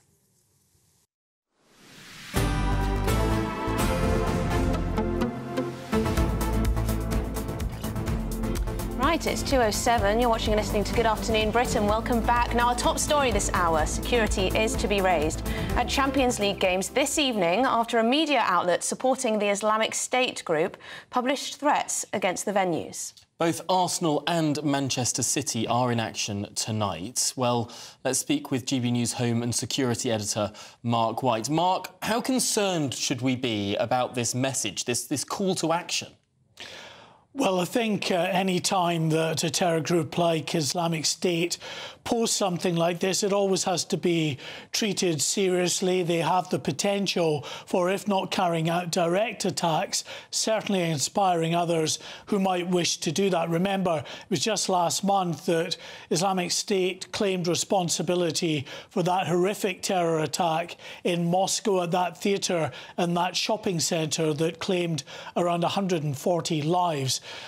So, of course, over the next couple of days, there are some very high profile football games in uh, these um, quarter final matches in the Champions League. That game in London between Arsenal and Bayern Munich, and of course, uh, at the same time, across in the Spanish capital, uh, Manchester City fans are gathering for that clash with Real Madrid. And again, tomorrow uh, in the Spanish capital, Atletico Madrid will take on Borussia Dortmund and then uh, Paris Saint Germain also playing uh, across in France as well. So, really, uh, some real concern about the potential uh, for terrorist activity. There always is at these big events. Crowded places are a particular risk. Now, that doesn't mean that anything will happen but out of an abundance of caution, uh, you've got the French Interior Minister, uh, Gerald Darmanin, saying that security will be enhanced for the game tomorrow night in Paris. You've got his Spanish counterpart saying that the games in Madrid will also see additional security. Now, we've spoken to Scotland Yard about the situation in the UK. Nothing official really coming from them. They will always police these events accordingly. They will have significant numbers of officers that are both visible, uh, but they will have a security infrastructure that's not visible, uh, that is also keeping an eye on individuals who potentially could pose a threat. A reminder, certainly, that the Islamist terror threat hasn't gone away. Well, as far as Islamic State is concerned, you'll remember, of course, uh, from about 2014 onwards, they were a very significant threat, carrying out and inspiring lots of attacks, uh, particularly across Europe. We saw these attacks uh, in France and in Belgium, in Germany, here in the UK, multiple attacks that took place, especially in 2017.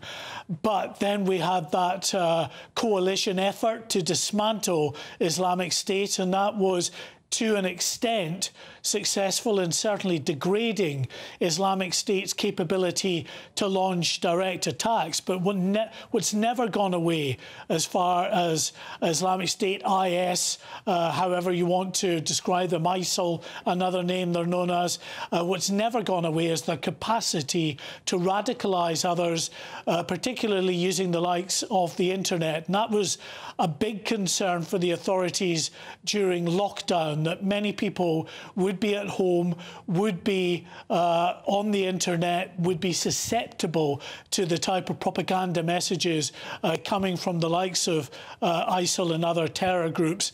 And then, of course, add to that the situation that's unfolding in the Middle East at the moment in Gaza. Uh, that is another potential agent uh, for stirring up uh, these extremist groups. Um, so, you know, there is, without a doubt, uh, heightened concern generally across Europe and uh, in the West uh, more broadly.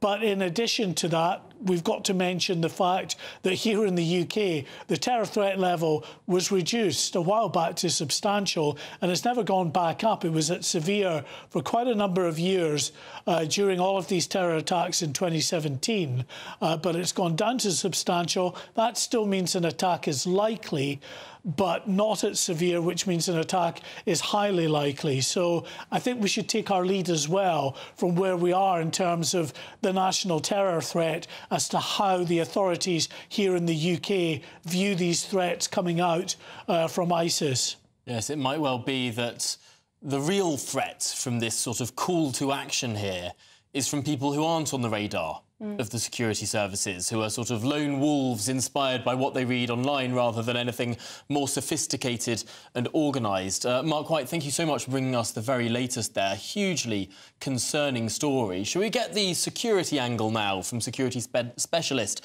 Will Geddes, who joins us now uh, to discuss this further? Uh, Will, what sort of precautions might these stadiums now be taking? Well, to be honest, Tom, and good afternoon, Emily and Tom. Uh, thank you for inviting me on today. They are very well rehearsed in this country. Um, most of the stadiums, and I do work with a couple of the Premier League clubs, uh, are in a very, very good position in terms of their counterterrorism initiatives and also their strategies. So they will have pretty advanced technology, certainly in terms of facial recognition, uh, but also in terms of the re response mechanisms that they've got in being able to coordinate with the police, which they often do so. And therefore, you know, if we were going to be in any good shape, now is a time where we really are in good shape to potentially prevent or repel an attack of this type. And we're just showing on the screen a blurred out image of the threatening message that was posted. You've got the Emirates Stadium, the Parc des Princes, the Metropolitano Arena, the Santiago Burner something, uh, Bernabeu, um, there. So this is very clear, four different stadiums potentially under threat. How does a group like this organise? This seems to be quite a basic call out to try and encourage uh, would-be terrorists to take action. Well, you're absolutely right, Emily. I mean, it's what uh pretty much what Mark was saying. You know, there, it's, a, it's a call to arms. Uh, particularly through their media, recognized media channel, Al Azaim. Uh, this is a foundation which has been used as a media conduit to publicize the messages for Islamic State. We're in a very, very precarious time right now. We have a number of terrorist groups Hamas, we have Hezbollah, and we have Islamic State, as well as Al Qaeda. And let's not forget, they are still very active, who are competing with each other almost for attention. And Islamic State, obviously, with their attack on the Crocus Theatre in Moscow, was a significant attack. As Mark mentioned, 147 people killed, 200 people injured. So they're looking to put themselves very much back on the map to say that we are a group to be reckoned with. Now, equally, as you've already discussed, one of the biggest concerns is the individual. I like to call them lone actors rather than lone wolves. It tends to romanticize it a little too much. But these are disenchanted, uh, disfranchised individuals who are seeking to put their name on the map. You have a, a lot of people out there who are feeling very alienated, very isolated. And for those that are suffering in some capacity or another, see this as their outlet potentially to associate themselves to a greater cause as they may believe, however perverse that might be. Now, just quickly, what is the risk here that we're all being taken for fools? That they're publicising the uh, uh, threats to these stadia so that there will be increased security there? Could the strike actually come somewhere else while we're all looking the other way? Yeah, very, very much, uh, very much so, Tom. I mean, again, you know, the security services, I know in Spain, in Madrid, because they've got two games they're hosting in the next 48 hours. Uh, we have one here at the Emirates Stadium, and there's another one, obviously, uh, that I believe is in Germany. I'm not sure. But um, not being a football fan. However, mm-hmm. you're absolutely right. And we saw this with the Stade de France and the Bataclan attack. And you could look at simultaneous or collateral attacks being taken uh, taken out on other targets. So the security services, uh, the various uh, anti-terrorism agencies in, in, in Spain, for example, they've seconded 3,000 uh, security personnel to their particular events in Madrid. So, you know, they're not taking any chances on this. And those individuals are not going to be assigned purely to the stadiums. They'll be looking at the train stations. They'll be looking at other notable landmarks. Because, again, remember, when it comes to terrorism, they are very, very media savvy. They're looking for identifiable targets, which are very easily translate when they are published or they're they're uh, released, certainly into the news. Well, thank you very much indeed, Will Geddes. You are a security specialist. Always great to get your perspective on this. It's a very good point you made about whether they want all the attention to be on these stadia and then actually for something to take place elsewhere. I mean, hopefully that is not the case and there is absolutely no threat. This is, of course, an alleged threat as it stands, but very worrying nonetheless. Yeah, and it does, just does highlight the fact that so often, now that our security specialists do sort of break into the sophisticated networks, mm. as, as Will was saying, we actually have done a fairly good job in this country of breaking down the, the sort of bomb threats that used to be perhaps more prevalent. But the man who murdered David Amess was acting as a complete lone wolf. He was uh, not linked to anything else. He was radicalised himself online and just went out with a knife. Could it be that that is precisely what is the biggest risk now? Because it's so hard for our security services to track down someone mm. like that. Also, I wonder, this image has been picked up, this message has been picked up by Western media, but I do wonder whether there are frequently images like this shared across uh, potential terror groups and the like. Um, it could be that this one has been picked up on and it looks like the security services are very much responding. Um, let us know what you make of it. gbnews.com forward slash your say. We will, as ever, get to some of your views shortly coming up in the show. But uh, we're going to be speaking about council fat cat pay because it is surging to new record levels, believe it or not. Lots and lots of council workers now on more than £150,000, some on more than the Prime Minister himself. We'll have more on that after the break.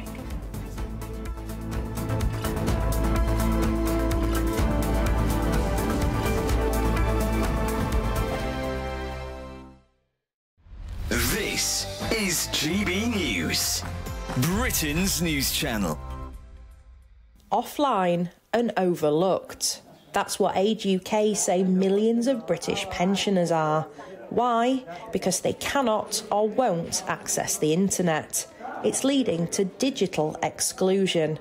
So, the charities campaigning for public services like banks, utilities, and even the NHS to maintain a more human approach. Everything's online. People assume you've got a smartphone with a, with a mobile number and uh, an email, and without that, you don't exist in this world anymore. We've got to try and get the government to see that it's so important to make people feel that they belong because there's a, there's a, a feeling that the older generation just feel that they're forgotten, they're in the way, and we already know that anyway, but it's just another reason for them to feel that they're not wanted. They'll just accept it and they'll say, well, that's it, I can't do it anymore.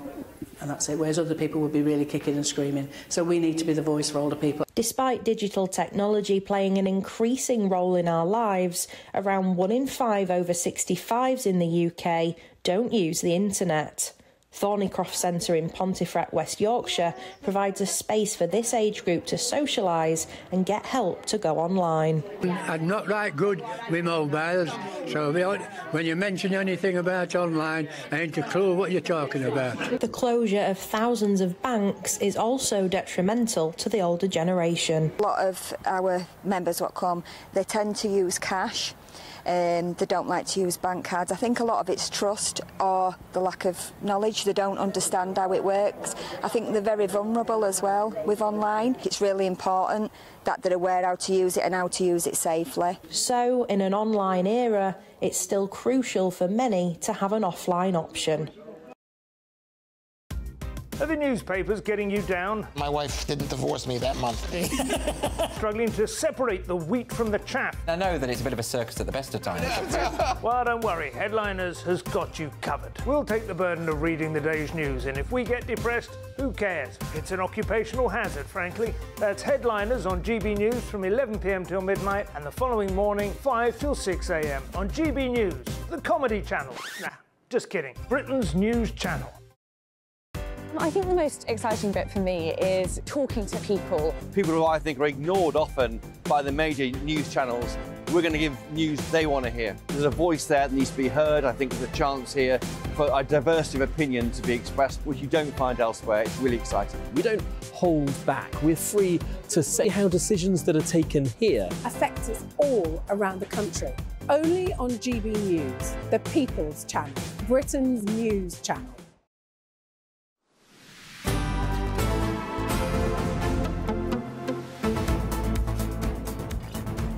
Good afternoon, Britain. It's 21 minutes past two. Now, later this hour, we are going to have more detail on this new and emerging potential threat from ISIS, a group that we thought had not posed threats to the United Kingdom for quite some time. Uh, but uh, more on that later.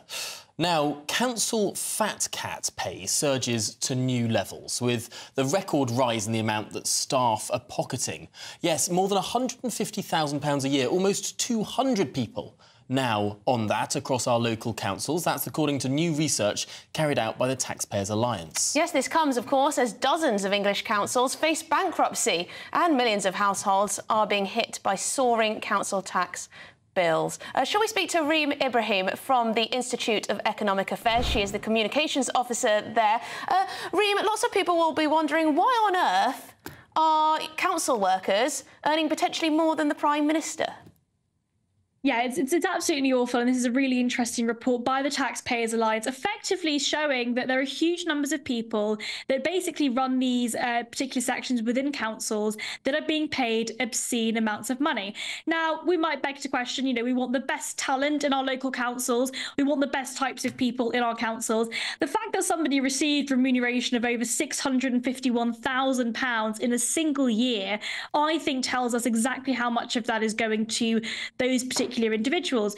Now, this all again comes as you know, inflation busting tax hikes are hitting up millions and millions of people across the country, and you know, as a result of that, we're not seeing better public services. I think we have to also remember the private sector, hardworking people make that money, and councils take it and spend it. But where is that money going? Are we seeing our potholes being filled? Are we seeing our, our, our local services improving? Libraries across the country are being cut. Meanwhile, we're spending huge amounts of money through our council taxes, and actually all of that money, a lot of that money, sorry, is going towards these fat cat council bosses.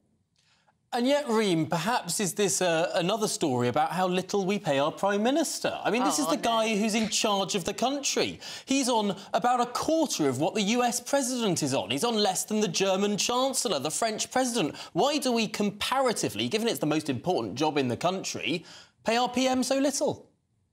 Yeah, not just the prime minister. I mean, also members of parliament. You know, we want the best best types of people in parliament. We want the best people uh, working for for our public services and working for the public, and yet we pay them so little comparatively uh, to the private sector. It does also beg the question as to why uh, we want to spend so much money on local services, on things that are particularly inefficient. And when you've got so many layers of government, so much bureaucracy, that you get these kind of things happening. And actually, it's really important work the Taxpayers Alliance are doing in order to uncover that so we actually know where our money is going and we can hold them accountable. And I think, look, I think many residents across the country are going to be looking at where our money is going, where our taxes are being spent, and how much of that is going to improving public services. I think it also begs a question about whether or not more money is the answer to many of these services.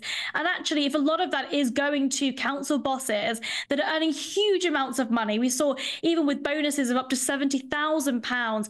You know, is is that is are we really getting the bang for our buck? Yes, for me, it's whether there's waste and whether we can make these councils more efficient with our money. Thank you very much indeed, Reem Ibrahim, Communications Officer at the Institute of Economics Affairs um, reflecting on quite shocking how many people are earning so much money at our councils, considering all the bankrupt councils out there, mm. all the waste, all the inefficiencies, but perhaps that's the market rate. Now, I mentioned how much the Prime Minister earned in comparison to the United States President. Shall we cross statesides now? Because the Foreign Secretary, David Cameron, is on the charm offensive down in Florida, hoping to secure American money for Ukraine. Yes, the former Prime Minister travelled to meet Donald Trump in Florida. He's hoping to persuade the presidential candidate to back a $60 billion aid package for Ukraine. He'll now meet with US Secretary of State Antony Blinken to discuss securing that support. Well, joining us now is the former White House advisor to President Trump, Sebastian Gorka. And Sebastian, it's an interesting pitch that David Cameron is making to your former boss, saying that borders matter and sometimes money must be spent to protect the integrity of borders. Now, that's true on the southern border of the United States, but it's also true on that border between Ukraine and Russia. Yeah, this is quite. Um, I don't uh, envy David because of you know the inconsistency of the Biden administration. Biden reversed everything we did in the Trump White House and has let in at least 8 million illegals that we know of in the last three years. So I guess the integrity physically and the national sovereignty of America don't matter, but Ukraine is super important. but he'll have a good meeting with my former boss, President Trump, who wants the war to end in Ukraine as soon as possible. Uh, and I think it's a realization that everybody knows who's living in the real world who's going to be the president after the next election here in America.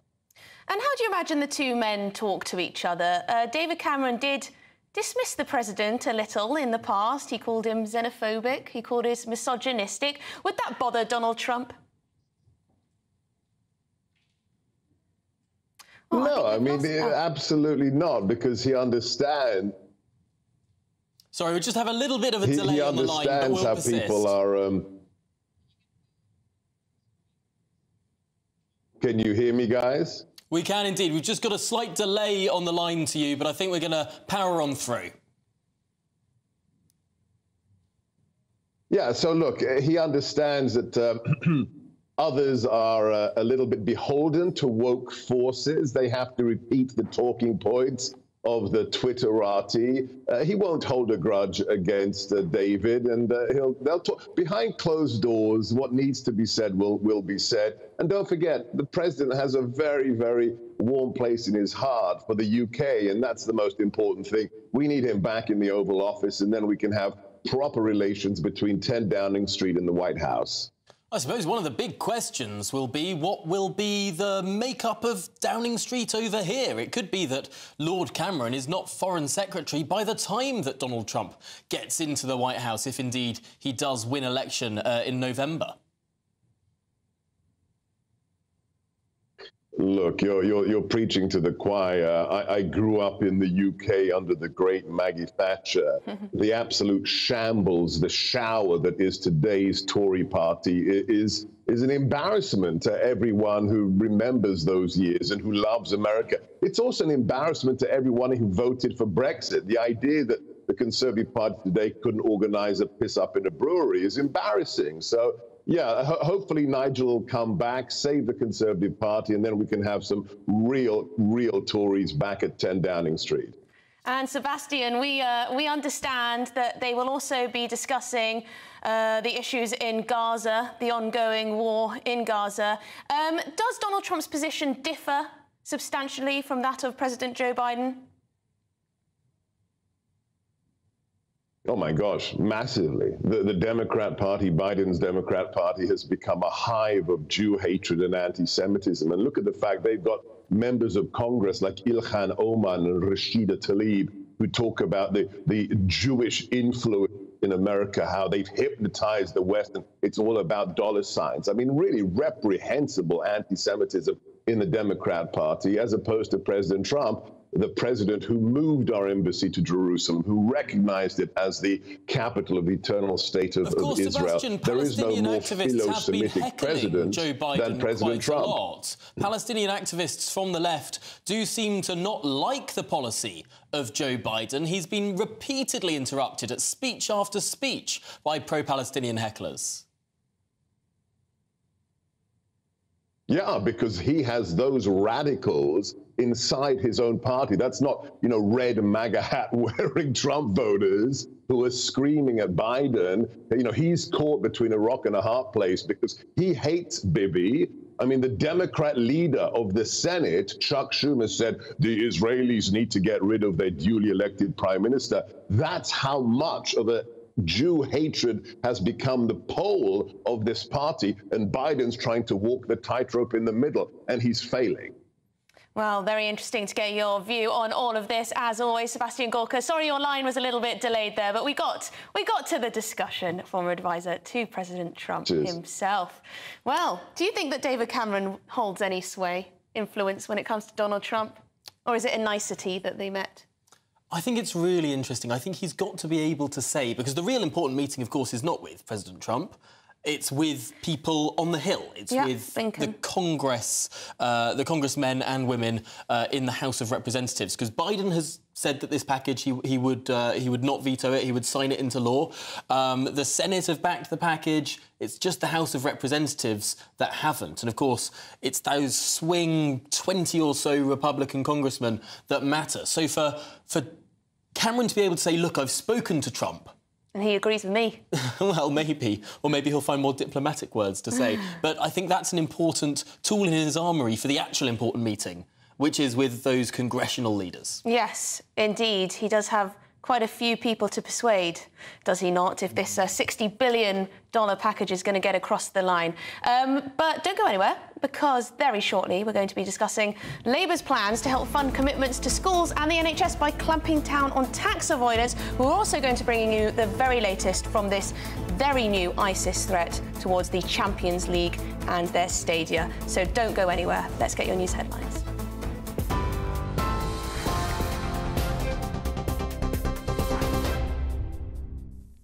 It's 2.32. I'm Sophia Wenzler in the GB Newsroom. Your headlines. Police say they have arrested a suspect in a murder investigation after a mother was stabbed to death while pushing her baby in a pram. 27-year-old Kulsuma Akter died after being stabbed on Westgate in Bradford. Police then launched a manhunt to search for a suspect. A 25-year-old man has now been arrested on suspicion of murder. Meanwhile, the Met Police has referred itself to the independent police watchdog after a woman was stabbed to death in central London. The victim was discovered dead, having suffered multiple stab wounds in her home near Hyde Park. Scotland Yard said officers were contacted on Sunday by friends of the woman who were concerned about her welfare. It was not until the next day that police forced entry to the woman's home. The Met Police say they are working 24 7 to identify and arrest whoever may be responsible for the attack. Six migrants have been injured in the latest wave of violence in northern France as people smugglers clashed with asylum seekers trying to force their way onto small boats without paying.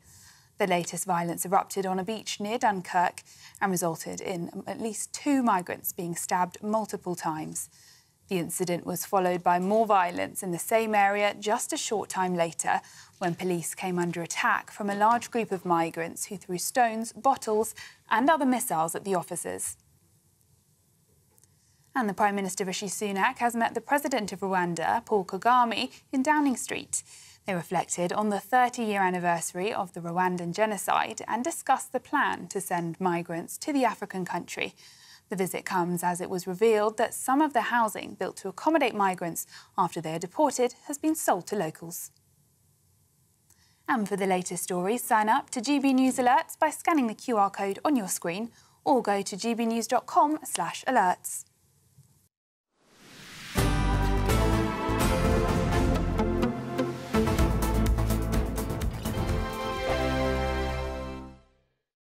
Hello, good morning. Welcome to your latest GB News weather update. Well, it's feeling much cooler out there today than yesterday. There are rain and wind warnings in force, but it will turn somewhat drier this evening.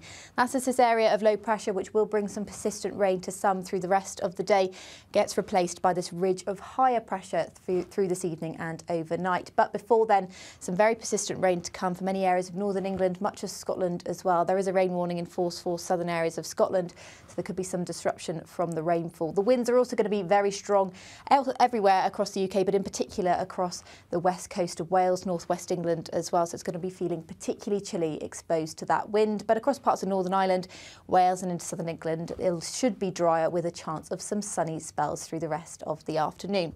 Overnight tonight, the low pressure pushes away and it turns dry and clear for the bulk of the UK overnight. But that will allow temperatures to fall away. So it's going to be a chillier night than of late with a touch of frost expected for parts of Scotland as well as northern England.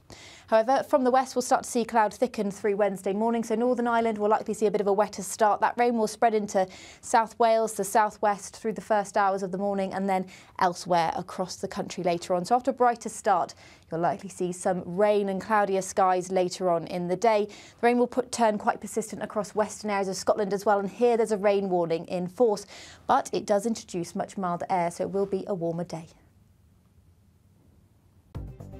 The latest GB News travel. Good afternoon, I'm John Vincent. Queues on the M62 westbound in West Yorkshire. There's a lane closed for an accident between junction 23 Huddersfield and 22 Rishworth Moor. Queuing traffic on the M66 southbound in Manchester. There's a lane closed there for an accident between junction 2 Bury and 3 for Hollins. And there's been an accident on the M4 Prince of Wales Bridge westbound. As a result, we're seeing queues there. Also a slowdown eastbound as well. Nearby M48 Severn Bridge has a lane closed in each direction for strong winds and matrix signs set to 40 miles an hour. And we're seeing queuing traffic in Bedfordshire on the M1 through the roadworks southbound just before junction 11 Dunstable South. And in Cheshire, the A55 westbound is still closed at the Vicars Cross interchange due to a police incident. So we're seeing queues on surrounding routes. That's the latest traffic and travel. You can stay up to date throughout the day by visiting our website gbnews.com. I'm Patrick Christys. Every weeknight from 9, I bring you two hours of unmissable, explosive debate and headline grabbing interviews. What impact has that had? We got death threats and the bomb threat and so on. Our job is to do what's in the best interest of our country. You made my argument for me. No, what, okay, what person, what at a My guests and I tackle the issues that really matter with a sharp take on every story. I'm hearing it up and down the country. That was a beginning, not an end. Patrick Christys tonight from 9 pm only on GB News, Britain's news channel.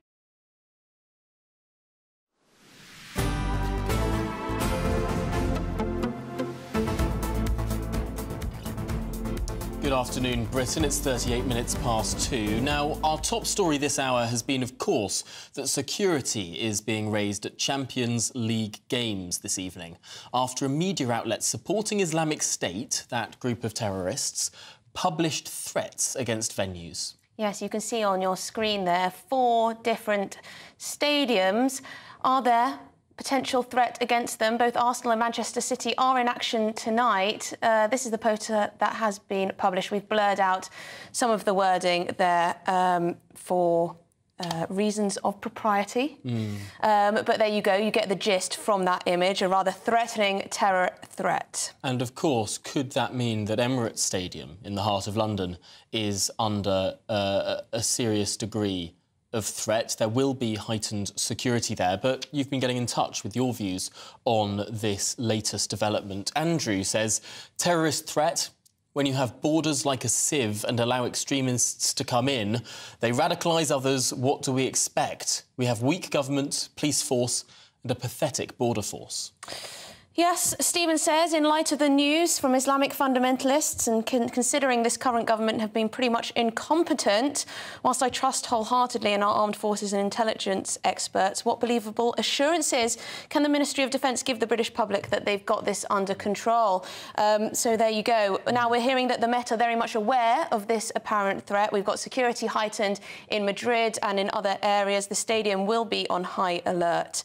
Um, but the media channel that's responsible for spreading these messages is the Al Azaim Foundation. And Gary raises a point about uh, whether we've got security going in the right places. If there is this heightened threat uh, tonight, uh, Gary says they know the stadium will be no go. So we'll probably go for London Transport. Please remember, half-brain evil terrorists copy films to plot their evil way and hopefully don't succeed. Well, we do know that there will be heightened alert this evening and we'll be following uh, these developments very closely indeed. I think many people will feel that an ISIS threat was something of the past, was something of the last decade, but uh, it does seem that there is increased, at least, activity in terms of threats. We don't know yet whether they'll materialise into action. Yes, and UEFA have said they're aware of the threats. They've said, as so far, games will go ahead as planned, but with appropriate security arrangements in place. So, what that will look like in reality, I guess, huge amounts of police presence, mm. security services, terror police too. But as you say, there'll be a, a, a high alert elsewhere Yes. as well. and right across the continent. Um, but in other news, Shadow Chancellor Rachel Reeves is unveiling plans to fund commitments to schools and the NHS by, get this, clamping down on tax avoidance. Where have we heard that before? Just about every single manifesto in the last 30 years. Now, the Labour Party says their tax crackdown will raise £5 billion by the end of the next Parliament, but it all comes amid a scandal over one of their senior members of the Shadow Cabinet, the Deputy Leader of the Labour Party, Angela Rayner, being accused of not paying her own tax herself. Yes, and as we were reporting earlier too, uh, the majority of the public, according to recent polling, think that she should actually just publish her tax advice, publish what was going on, and be a little more transparent about it. But we're now joined by GB News economics and business editor Liam Halligan with On the Money. Liam, is there anything different about this Labour crackdown on tax avoidance than previous tax avoidance uh, clampdowns that we've seen? No, I don't think it is. It's a perennial of the sort of political cycle that when parties start limbering up for general elections, they want to make pledges of the money that they can spend and put in their shop window goodies in front of the voting public. But they don't want to commit to tax rises, of course. So they say, I know we'll get more money from the people who should be paying more tax, from tax evasion which of course is illegal, and tax avoidance, which is the legal uh, use of tax law to navigate, if you like, to pay as little as is legally possible. Evasion and avoidance are very different. I think what is uh, slightly more eye-catching by the Shadow Chancellor this morning, Rachel Reeves, is that she's linking the money that she wants to spend to a report by the National Audit Office. The National Audit Office, if you like, is like the government's own accountant, internal accountant, internal auditor. Uh, they look at how government money is spent and how it should be spent a bit better. But let's give Rachel Reeves her due. These are the numbers that she put out this morning, talking about how she's going to clamp down on tax avoidance. Labour's tax plans, they want to raise an extra £2.6 billion uh, a year by the end of the next Parliament uh, by 2029-30 clamping down on non-dom loopholes. We've talked about this many times. Labour had a policy that they wanted to make it more difficult for wealthy foreigners to declare themselves tax resident abroad, even though they actually live in the UK.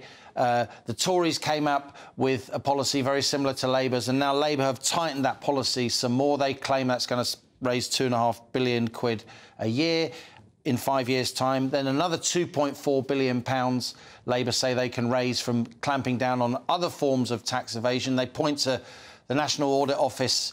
They have an estimate of something called the tax gap, which is how much tax should be paid if everyone complied with the law and how much tax actually is paid. That tax gap is something like 30 billion. Labour are claiming that to get 5 billion in total from that is money on the table. They want to spend this quote, extra money, which may or may not materialise, of course, on NHS appointments, more dental appointments, trying to tackle those waiting lists, which are now at record levels. An estimated 9 million people in the UK are waiting on an NHS waiting list, and indeed on breakfast clubs where primary schools provide breakfast for kids for free. And Reeves also, she, she is at pains to point out in every single TV and radio appearance, she says everything in our manifesto will be fully costed and funded.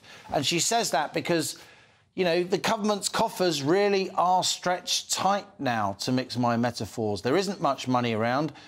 Even the Tories would admit that if a Labour government does come in, their inheritance, if you like, the situation they're inheriting in terms of economic growth, public debt, uh, still quite high inflation is a much more difficult, challenging inheritance than, say, Tony Blair and Gordon Brown inherited when Labour won a landslide back in 1997. So she's trying to manage expectations. She's trying to say to many voters on the left and the left of her own party, we're not going to be able to just let the spending floodgates open because financial markets will push back and we'll have a sim situation similar to back in the autumn of 2022 when interest rates spiked, mortgage rates spiked, borrowing costs spiked across the economy. So I think you're both right to be slightly um, sceptical that this extra money can materialise from clamping down on tax evasion and avoidance and clamping down on non-DOMs.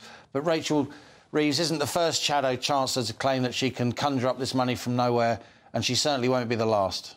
No, it does seem that history is repeating itself, not least with sticking to Tory spending limits and, and, and rules. Although back when Blair did that in 1997, we had 4% growth.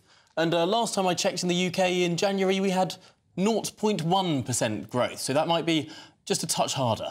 And that's right. And when Blair came in, um, I mean, I was a political reporter at, at, the time. Within a couple of years, the UK government was actually running a surplus from year to year, where taxation revenue was higher than spending.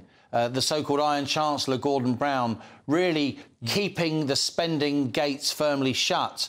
Many historians would say, uh, and journalists there at the time, me included, that later in his chancellorship, Brown sort of reverse ferreted and spent probably more money than he, than, than he should have done.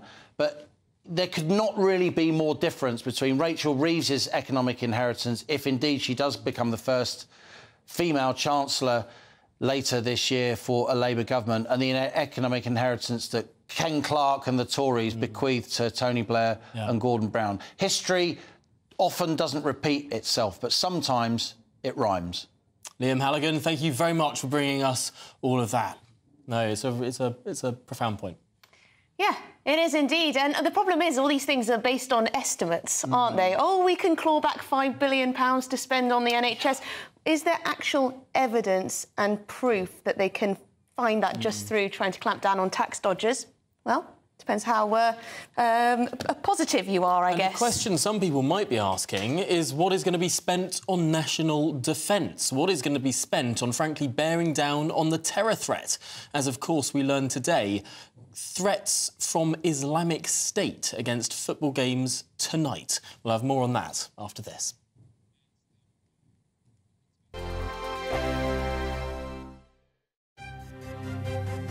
GB News Breakfast. Every day from 6am. TFL bosses have come under fire after banning an advert. Oh, God. They've banned an advert for a comedy show because it had a hot dog on it, because that supposedly promotes obesity. The comedian Ed Gamble has swapped the image of the fast food favourite in favour of a cucumber instead. And there's the cucumber on the plate. So, is the UK turning into a nanny state? Let's talk to former presenter of Fat Families, Steve Miller, and nutritionist Olivia Parry. Good to see you both this morning. Olivia, it's a comedy show. Um, he's not promoting eating hot dogs, is he? Is this just a load of nonsense? The thing is, we have a huge problem with overweight and obesity in this country. We're fourth in Europe. Um, it's big business. Advertising for food companies is big business. They make, you know, they make so much money. You just have to switch on primetime TV to watch, you know, food after food advertisements and we it's for the youngsters as well who don't have the nutritional education. We're not taught cookery in school anymore. People go to go to college and to university they don't know how to cook. But and it leads forgive me, to, forgive like, me for jumping in olivia forgive me for jumping in but the, but the, the whole point with this is it's an advert for a comedy show. Yes i know but this is a this is a wider issue. I think it's a load of old tosh to be quite honest with you it's a hot dog. In fact, I wish they'd have put onions on the hot dog. A bit of what you fancy won't hurt you. You should eat 80 20 anyway. You know, we talk about a nanny state. I actually think, arguably, we're becoming an authoritarian state. Opinions banned, comedy banned, the England flag banned. It's like we've got to wear a virtual muzzle every Sunday from 11. Join Michael Portillo. There will be topical discussion looking at the week before and the week to come. So kick back and relax at 11am on Sundays on GB News with me, Michael Portillo. GB News, the People's Channel, Britain's news channel. I'm Andrew Doyle. Join me at 7 o'clock every Sunday night for Free Speech Nation, the show where I tackle the week's biggest stories in politics and current affairs with the help of my two comedian panelists and a variety of special guests. Free Speech Nation, Sunday nights from 7 on GB News, the People's Channel, Britain's news channel. Your weekend starts here with Friday Night Live with me, Mark Dolan, 8 till 9 on GB News. Big stories, big guests, and big laughs as we get you ready for a cracking weekend. That's Friday Night Live with Mark Dolan. Fridays 8 till 9 on GB News. Bring your own drinks. The admission's free.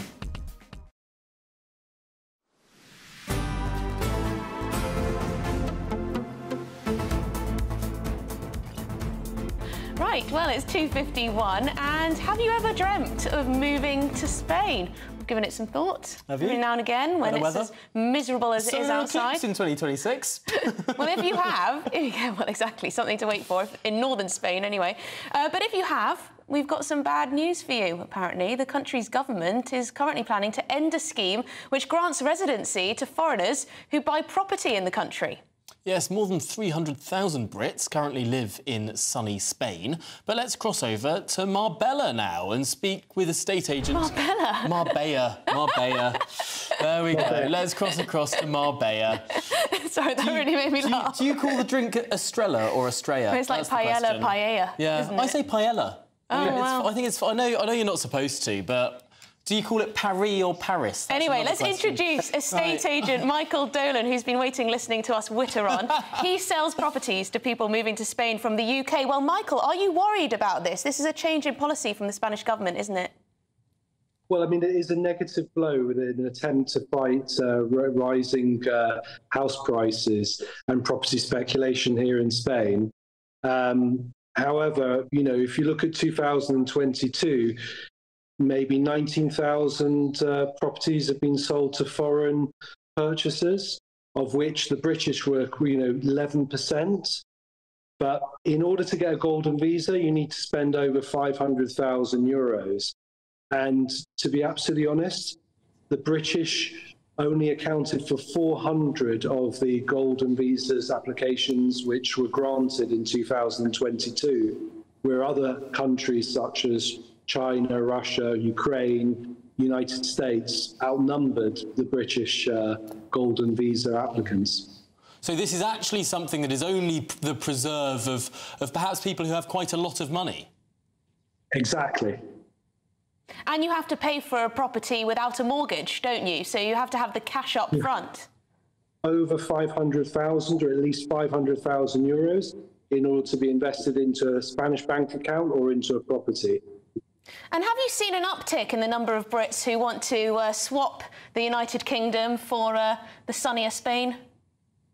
Absolutely, of course. The Golden Visa was something that came into power in 2013, and there's maybe 10,000 Golden Visas that have been granted since then.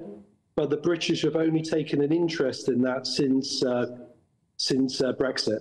Mm. Understandable reasons, no longer free movement. But Michael Dolan, thank you so much for joining us, estate agent, of course, from Marbella or Marbella, depending on your So it view. just made me it just made me laugh with because the gusto you said it with. Yeah, well, I know I I, I, pronounced I, I, I pronounced Barnsta- Barnstable Barnstaple the other Yeah, day. yeah. This is the problem. Sometimes when you read a name, But why do you we say why do we why do we say the, the Spanish pronunciation for that, but we don't say Paris? We say Paris. It, it doesn't make any sense, does Sorry, it? Marbella. Uh, sorry, No- Martin, you've no got a show one has ever up. said Marbella, I Tom. bet someone has. No. Martin, what's on your show? Marbella, Eileen, Marbella. Uh, we're not doing that. It's kicking off in the Champions League, though, of course. ISIS are targeting Man City, Arsenal, Paris Saint Germain, and Barcelona. Also, Rachel Reeves meets GB News. And why is it raining so much all the time? Officially not funny. Talking of which, here's your weather forecast. A brighter outlook with BOXT Solar, sponsors of weather on GB News. Hello, good afternoon. Welcome to your latest GB News weather update. Well, it will be turning a little bit drier through the rest of the day and into this evening with the rain and the wind easing. That's as this area of low pressure that's brought the windy and fairly wet weather pushes off into the North Sea and a ridge of higher pressure will arrive overnight. That's going to turn things drier through this evening across Northern Ireland, many western areas of the UK. Some rain still to come for the next few hours across the east coast of Scotland and northern England, but then it turns considerably dry, so a clear night for most areas away from the far west, and that's going to allow temperatures to dip down. So it's going to be a much colder start tomorrow than of late. We could see a touch of frost across some rural areas of Scotland, northeastern England as well, and everywhere's going to feel on the chilly side. However, wet weather will spread in from the west quite quickly through Wednesday, particularly across Northern Ireland first thing, then into Wales, southwest England, and then into northwestern areas of Scotland. That's where the rain's going to be the most persistent, as well as across parts of the Lake District as well. So there is a rain warning in force, but this rain is going to be bringing with it much milder air. So it's going to be a warmer day tomorrow, and that warm feel will continue through the rest of the week and it will turn a little bit drier for many areas. There will be a band of cloud and rain across the south coast from time to time through Thursday, but it does look like it will turn that much drier, with temperatures climbing to the high teens, possibly the low 20s by Friday. Bye bye. That warm feeling inside from BOXT Boilers, sponsors of weather on GB News.